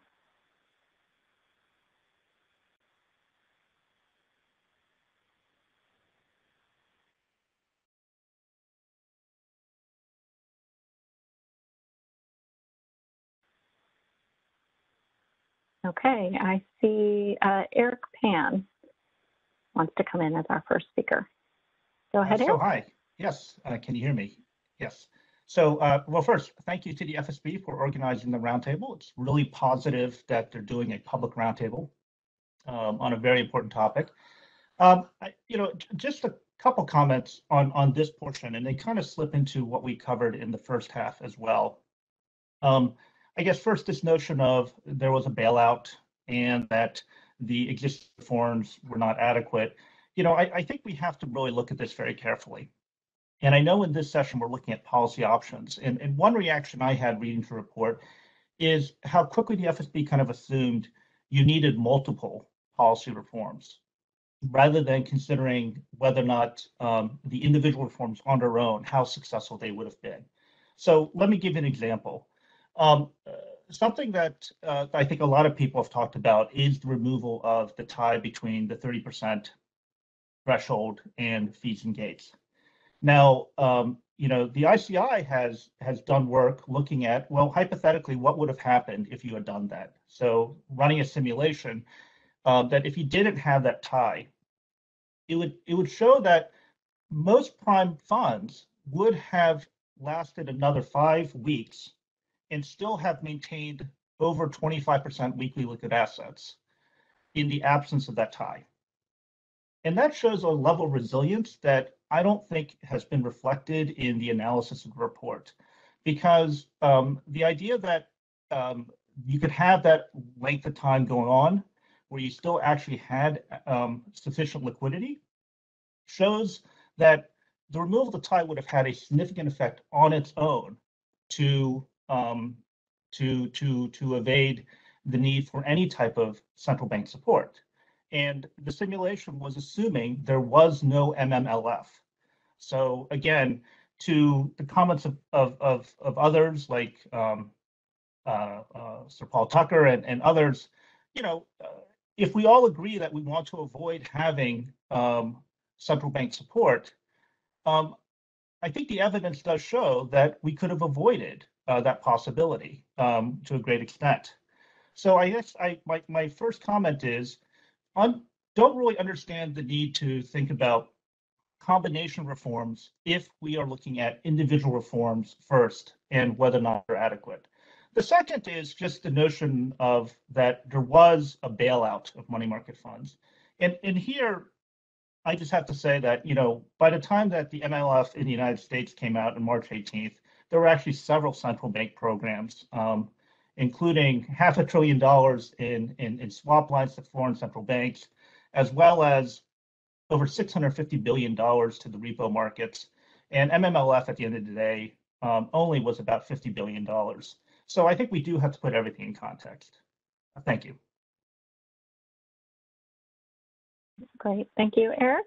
Uh, I think the next person, uh, Jing Zhao, has a hand raised. Please go. Hello, hello, hello, hello. Yes, I can hear you. Okay, thank you very much. And uh, I just wanted to make two and short comments. And the first is regarding the compilation of the options. And uh, in our practice, and uh, we believe that compilation of the options capital buffer and the limits on the eligible asset is remarkable. And we think that this combination can select the money market funds underlying asset and based on quality, and that should improve the general fund credit rating and liquidity. And at the same time, and keeping the cash-like character of money market funds, that we think this combination can improve the um, liquidity of the money market funds and will maintaining the traditional and the concept of, of the investors regarding the money market funds. Therefore, and we think this combination and may be a very effective one and uh, maybe the regulator should consider. And the second comment is regarding the um, overall and uh, uh, resilience of the short-term financing market. And we believe that important challenge for the overall resilience of the short-term mar financing market is how to maintain the liquidity and when the market expectation are not so optimistic. And we know that besides the money market funds, there are also mutual funds, insurance companies, security brokerage firms, pension funds, and uh, Balabala and as the provider of, of the funds into this market. And uh, I think the regulators should uh, try to increase the proportion of participants and who can provide stable funds and ensure their willingness to provide the funds and uh, into the short-term financing market. I think that by widely introducing multiple funding providers into the uh, short-term financing market and encourage the investors to deepen their participation in the short-term financing market, and uh, we could expand the funding resources of the short-term financing market and uh, improve the stability of the whole market. And we don't need just to uh, depend on the money market funds and uh, to provide the liquidity and during the um, bad situations. And this is just um, um, uh, on my uh, two points. Thank you very much. Great. Thank you for those remarks. I think next, uh, I understand Adina uh, Ariba had your would like to come in and speak. Yes, thank you. Do you hear me? Yes? Yes, maybe speak a little louder, but I can hear you. Okay, I will try to speak louder. Thank you very much. Um, yes, thank you for this very interesting workshop. Um, there are so many things to say. I would just like to to highlight two things. First, um, when the the European program, the the pandemic program came, uh, it took some days before being effective, and it is in this period that we had the, the bulk of our redemptions and we have fulfilled them uh, without any need. So first, there, there was not a bailout of money market funds. It helped the market. And as soon as our investors, especially corporate, could issue again and on the primary market, they had enough um, uh, liquidity to be able to come back very quickly to money market funds. So First thing to say, this is a holistic issue. Money market funds are one player, but this is a holistic issue. Of course, the confidence in the market is given by the central bank. It is not given by one or the other player. It is given by, by the, uh, the central bank but indeed um, um, uh, the players uh, did have to, to, to be resilient and the, the first reform helped them to cope with this redemptions. This was the first thing I wanted to say. And the second thing very important is that um, um money market funds economically play a role uh, in France for, I don't know, 30 years of matching different interests, the ones of uh, the one who want to fund very cheap and, and, and ineffective uh, certificates, uh, deposits, and uh, commercial papers, especially for the new CPs uh, that are transparent in France. Uh, they really think, the, our investors, that this is very important to be able to issue um, this, and, and it is the money market funds that are the financing player for this. And regarding the investors, they also are very interesting in, in money market funds because this is a diversification uh, of counterparty risk. It is uh, an easy tool to use, etc., etc. So the money market fund matches this interest. So the further reforms should take into account this um, uh, good uh, uh, role played by the money market funds. And if we take our money markets, what will happen? I think we have to wait all this uh, because they, they have proved their resilience uh, through this crisis. Thank you. Great, thank you, Adina. And actually, I, I should mention too, if folks uh, when you come in, if you wouldn't mind just mentioning your institution or wherever you're affiliated, just so people have a little context for all our different participants today, uh, if you haven't already forgot to mention that. Uh, so next hand up, I see Bob, who I guess has already introduced that. So Bob, please go ahead.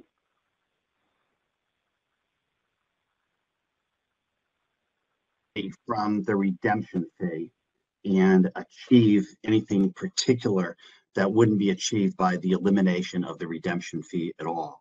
Um, the, uh, uh, the, the firms that sought relief or sought uh, uh, uh to bail out when they hit 30% didn't do so because they did so because they were unwilling to to impose a fee or impose a gate because the widespread understanding in the industry that as soon as you do that, you are out of business basically. And so uh, I think the redemption fees have to be rethought as a whole, as opposed to saying, well, you can uh, have a 30%, you can have a redemption, liquidity fee, or you can have gates, and assume that that's a meaningful part of any uh, uh, revision of 2A7 or any regulation in the United States because they simply will not be used. As a matter of business, they they, they cannot be used uh, as, a, as a practical matter. And that's one of the things that uh, March 2020 taught us.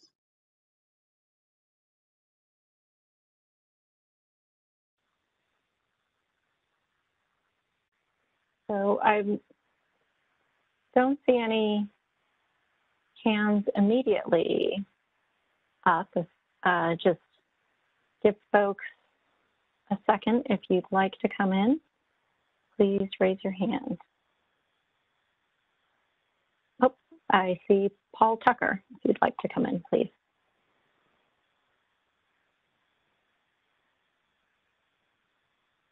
Thank you. Um, I thought Eric made some pretty good points actually, and I, am saying this just um, so that kind of Sarah and Hyun can kind of weigh this. The the kind of problem that the industry side of this debate has, and a kind of point it can make, at least as part of a rhetorical exercise, is kind of what was the Fed trigger happy? Um, and I mean, of course, my I came from an institution whose history was typically to let somebody fail first, most famously in Overend and Gurney in the 1860s, um, precisely so that people can see what happens and that others can see that they need help. Um, and, and I think that's something the official sector should weigh. Um, I think if I were Eric, what I would be lobbying for would be a law barring the Federal Reserve um, from ever providing facilities to money funds again. And if such a law were passed, I think if I were the Fed or the Treasury, I would be persuading, um, trying to persuade Congress that the law should um, include an emergency waiver clause, which would be, which would enable a rescue but which would um, entail some costs for the authorities, but actually severe costs for those that were rescued. I mean, very severe costs, like being barred from commercial life um, forever. Because I think what where I agree with Eric is some credible lines have to be drawn that either these things are issuing safe assets and therefore implicitly and therefore should uh, ideally explicitly have the backing of the state, or alternatively, they are not safe and they are never going to get the backing of the state, and everybody understands that. But actually, what the industry tends to lobby for is the status quo. But the status quo is the is the is is the position most likely to aggregate, aggravate the taxpayers, um, because it ends up with rescues, which the industry will say were unnecessary, and other people will say were necessary, and actually is just um, rich fund managers take the take the profits in the good times, and the poor taxpayers take the losses in the um, bad times. And this isn't to disagree with Eric; it's to encourage people like Eric and um, Tom earlier to kind of think through what strategy do you want, and the strategy you should want, I think, for for yourselves is to put it beyond doubt there will be no rescues for you and that you will put yourselves on that line.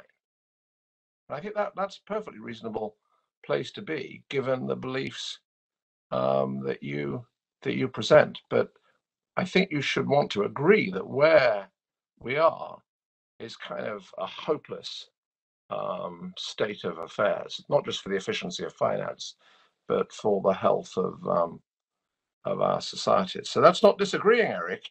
It's saying that I think you need to kind of think through what you really want and lobby for it, you know, with all the resources at your disposal.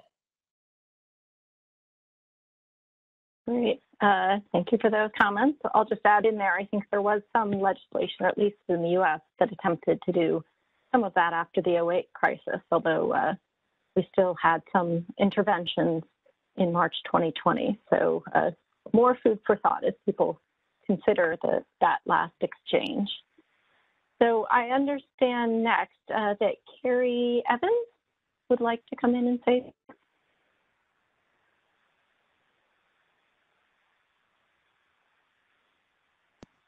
Hi, thank you, Sarah. Can you hear me? I'm just struggling go. to get Yeah. off of mute. Um, No worries, I can hear you.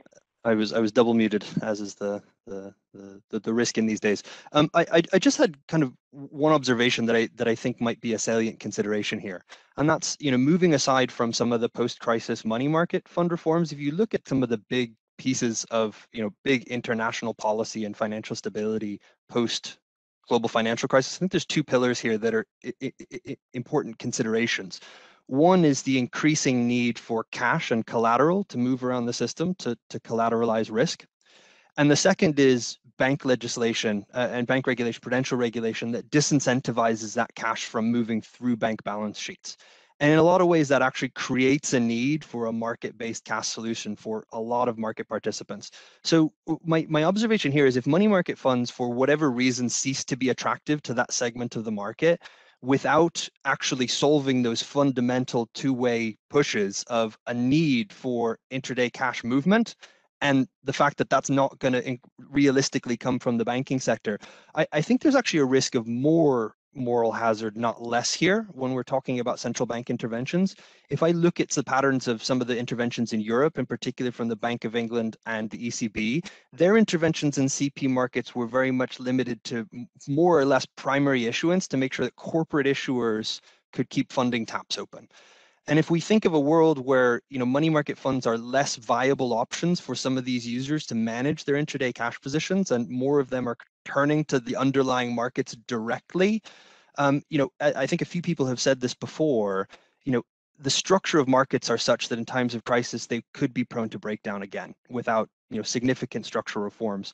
Um, in a world with a much more disaggregated user base who are probably going to be managing their positions in the underlying investments in a, in a less say liquid way than they currently are done through money market funds. I think it's actually more incentive or sorry more, more moral hazard rather for central banks to need to step in and, and, and underpin market functioning in these segments than today where a significant chunk of it goes through money market funds. So it's it's it's just an observation that i'll leave there. Great, thanks, Carrie.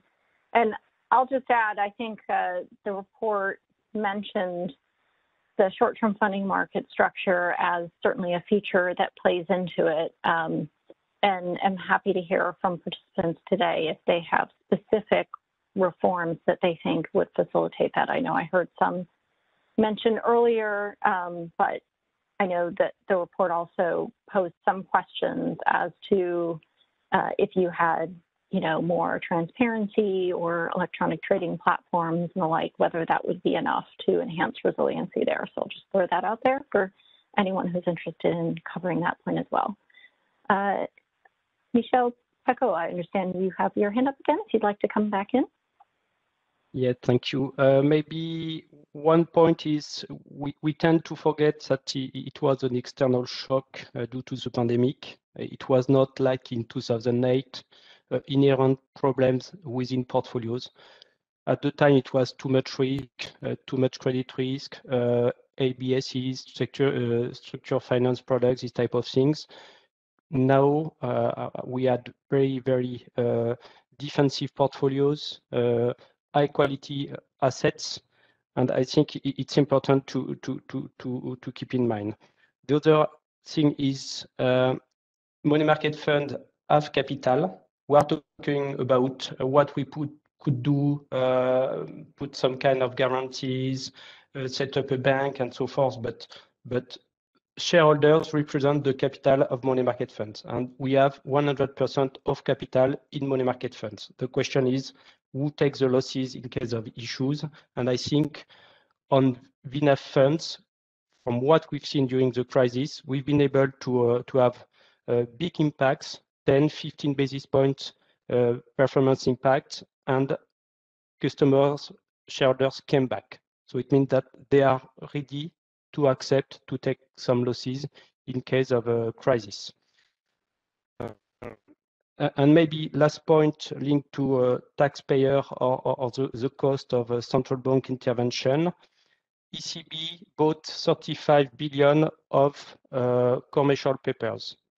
They bought it on the primary market mostly, maybe in more than uh, 95%, and it was to help the real economy to find short-term financing.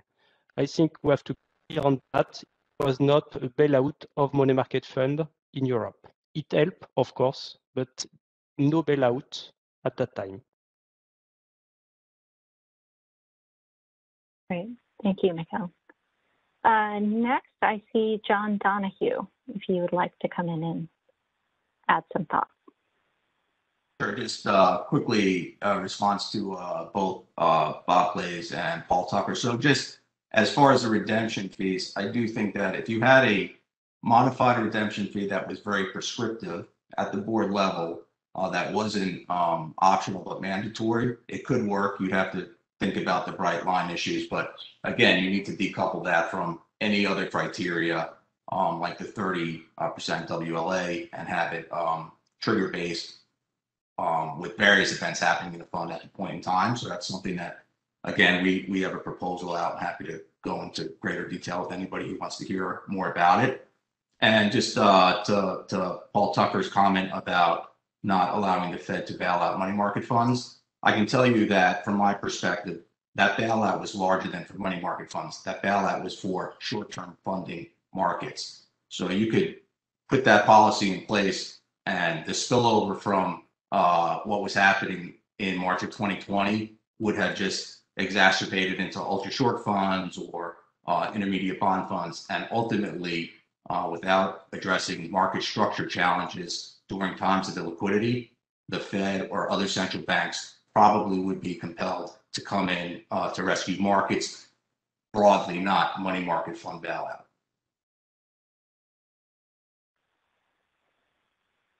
Okay, thank you, John. And uh, Eric Pan, I see your hand up. Not sure if it's a, a new hand or a residual hand, but wanted to give you a chance. Yeah, thank you. So it's a new hand. Um, well, I just Great. I feel compelled to to kind of jump back in um, um, after uh, Paul Tucker's comment. Um, so I, I, think you know there are a couple things. One is let's not forget that money market funds, uh, both in Europe and in the United States, are highly regulated uh, products. Um, uh, this idea that somehow that this is the Wild West and there's this reckless behavior going on, um, which sort of underlies the kind of the moral hazard narrative, is just not true.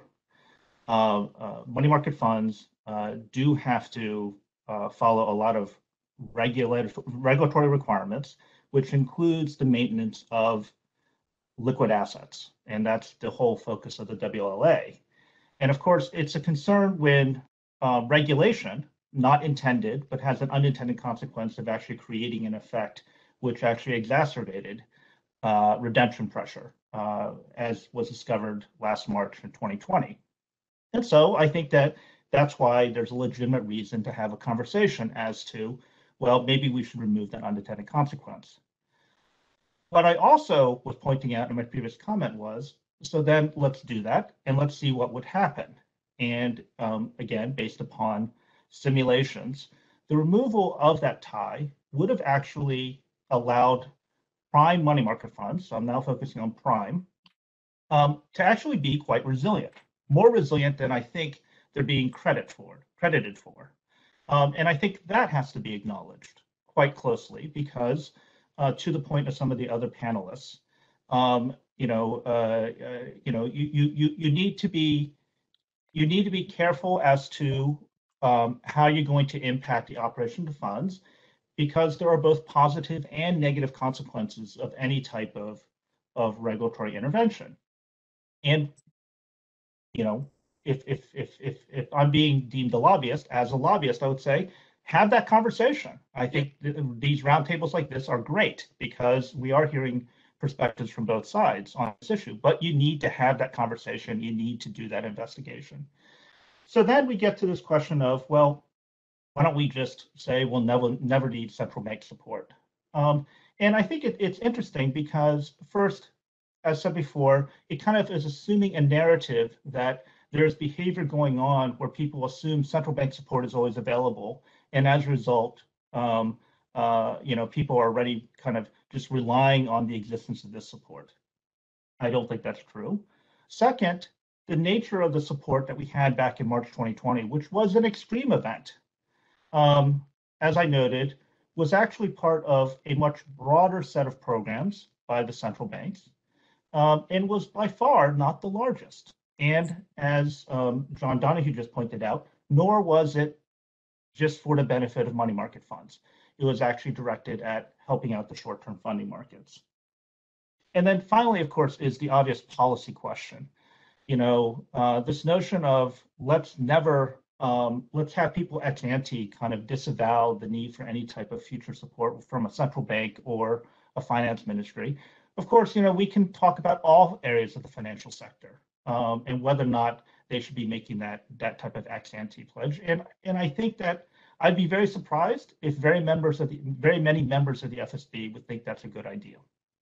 Um, you know, it, it, it, that strikes me as being a reckless policy decision uh, because why why why take away your policy tools um, uh, you know in advance when we know that there are actually very good reasons why those tools should be used. I'll stop there. Okay, thanks, uh, Eric. Uh, Paul, I don't know if you wanted to to come in for a second to respond. I saw your hand up. Didn't know if that was a residual hand, but That, wanted that's, to. that's a residual hand. I mean, Oh, okay. it's, it, I, I think, I think getting Eric onto this kind of ground and Tom onto this kind of ground is the, is the key, is the key thing. I mean, part of the problem with the debate is that it's conducted in a binary terms that they're either kind of all money market behavior is is conducted against the shadow of moral hazard, or alternatively, it makes absolutely no difference whatsoever to their behavior, but actually there are sunspots and the US cavalry turns up. And of course, it's not like that at all. The challenge is how to internalize into the kind of private sector the potential availability of the safety net. And the authorities have completely failed to, to do that. And we can't expect the private sector to even begin to, to grapple with that problem because they're doing their jobs rather than the, the kind of broader job. And my worry about your exercise, Sarah Hyun, is, which I think is a good exercise, is that like the last one, this will merely be another little ratchet that helps to kind of identify what the um, issues are. And for me, the issue is is the safety net there, and what are the consequences of the safety net potentially being there? And as you rightly said, Sarah, that the the March 2020 things, for what it's worth, Eric, I think were overdone. If it had been me, wouldn't have been done in the same way, as you heard me say in context of monetary stuff.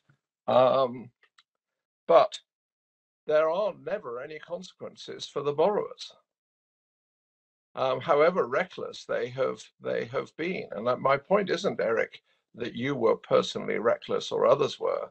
It's that actually there is never any um, cost for the people who get bailed. And so I would say the burden of for the state to be present there as the insurer of last resort, effectively spending resources that can't be spent elsewhere. Um, and that's the decisions the presidents and prime ministers and chancellors have to take is a kind of grave one.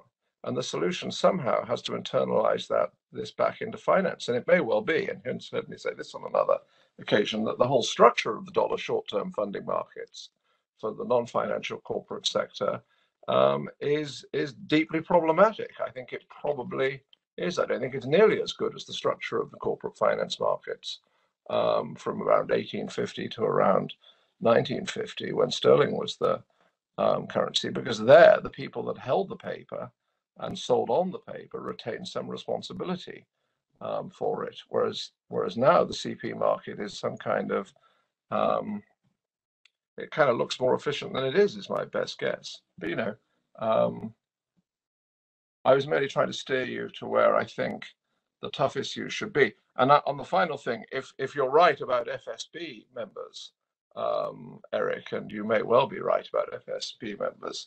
Well, that doesn't mean that that they are fulfilling the duties of their office by holding those views. Okay, so I think that as we are at uh, time, that's going to have to be the, the last word from our panelists today. I'm going to turn it over to Hyun right now to give a few wrap-up remarks.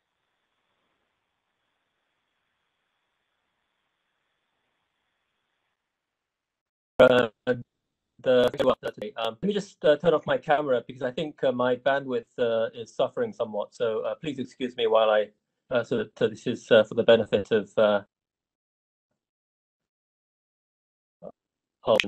Um, we've heard some some some very good comments. it won't surprise you that many of these comments also figured in our internal deliberation when we when we undertook this exercise.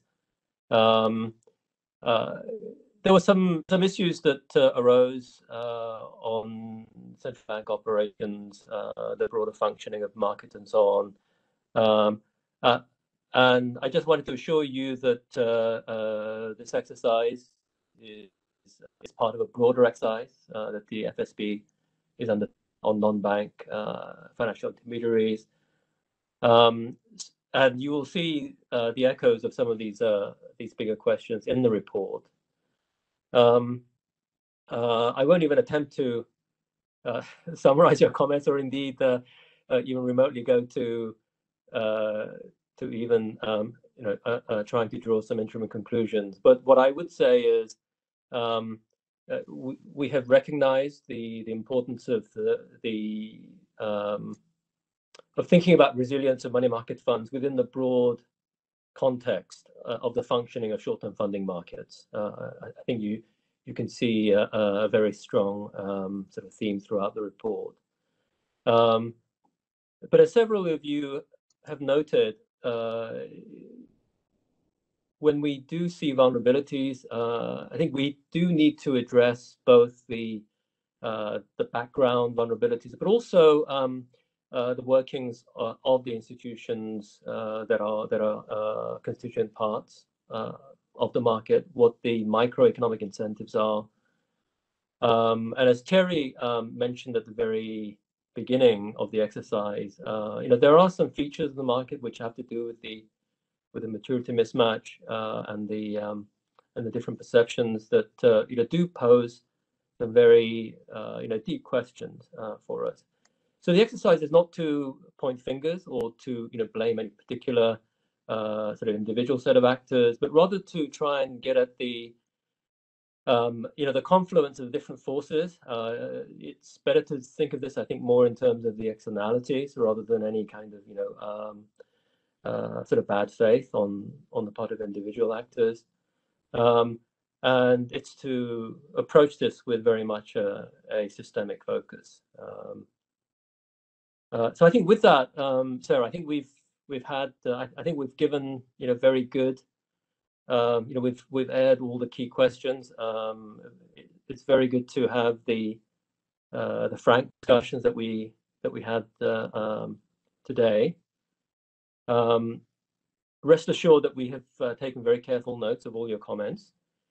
Um, but we uh, would, of course, um, appreciate very much your your written submissions um, to to this call for comment, um, so that we can we can uh, do them justice when we uh, when we think about the uh, the broader feedback. So with that, let me uh, you know, thank all of you. Uh, it was an incredibly well attended workshop. I I didn't expect uh, you know us to sort of top 250, but we we actually reached fairly close to that. Um, let me thank the Secretariat for uh, for their help, and um, um, you know while you uh, you know while you ponder some of these uh, some of the deeper issues, um, uh, I hope you can you can channel some of your thoughts um, and and give us the benefit of of, of your written remarks um, of your written remarks by the by the August 16th uh, deadline. So with that, let me let me conclude. Uh, turn my camera on in case uh, that, uh, I can wave my hands. uh, the,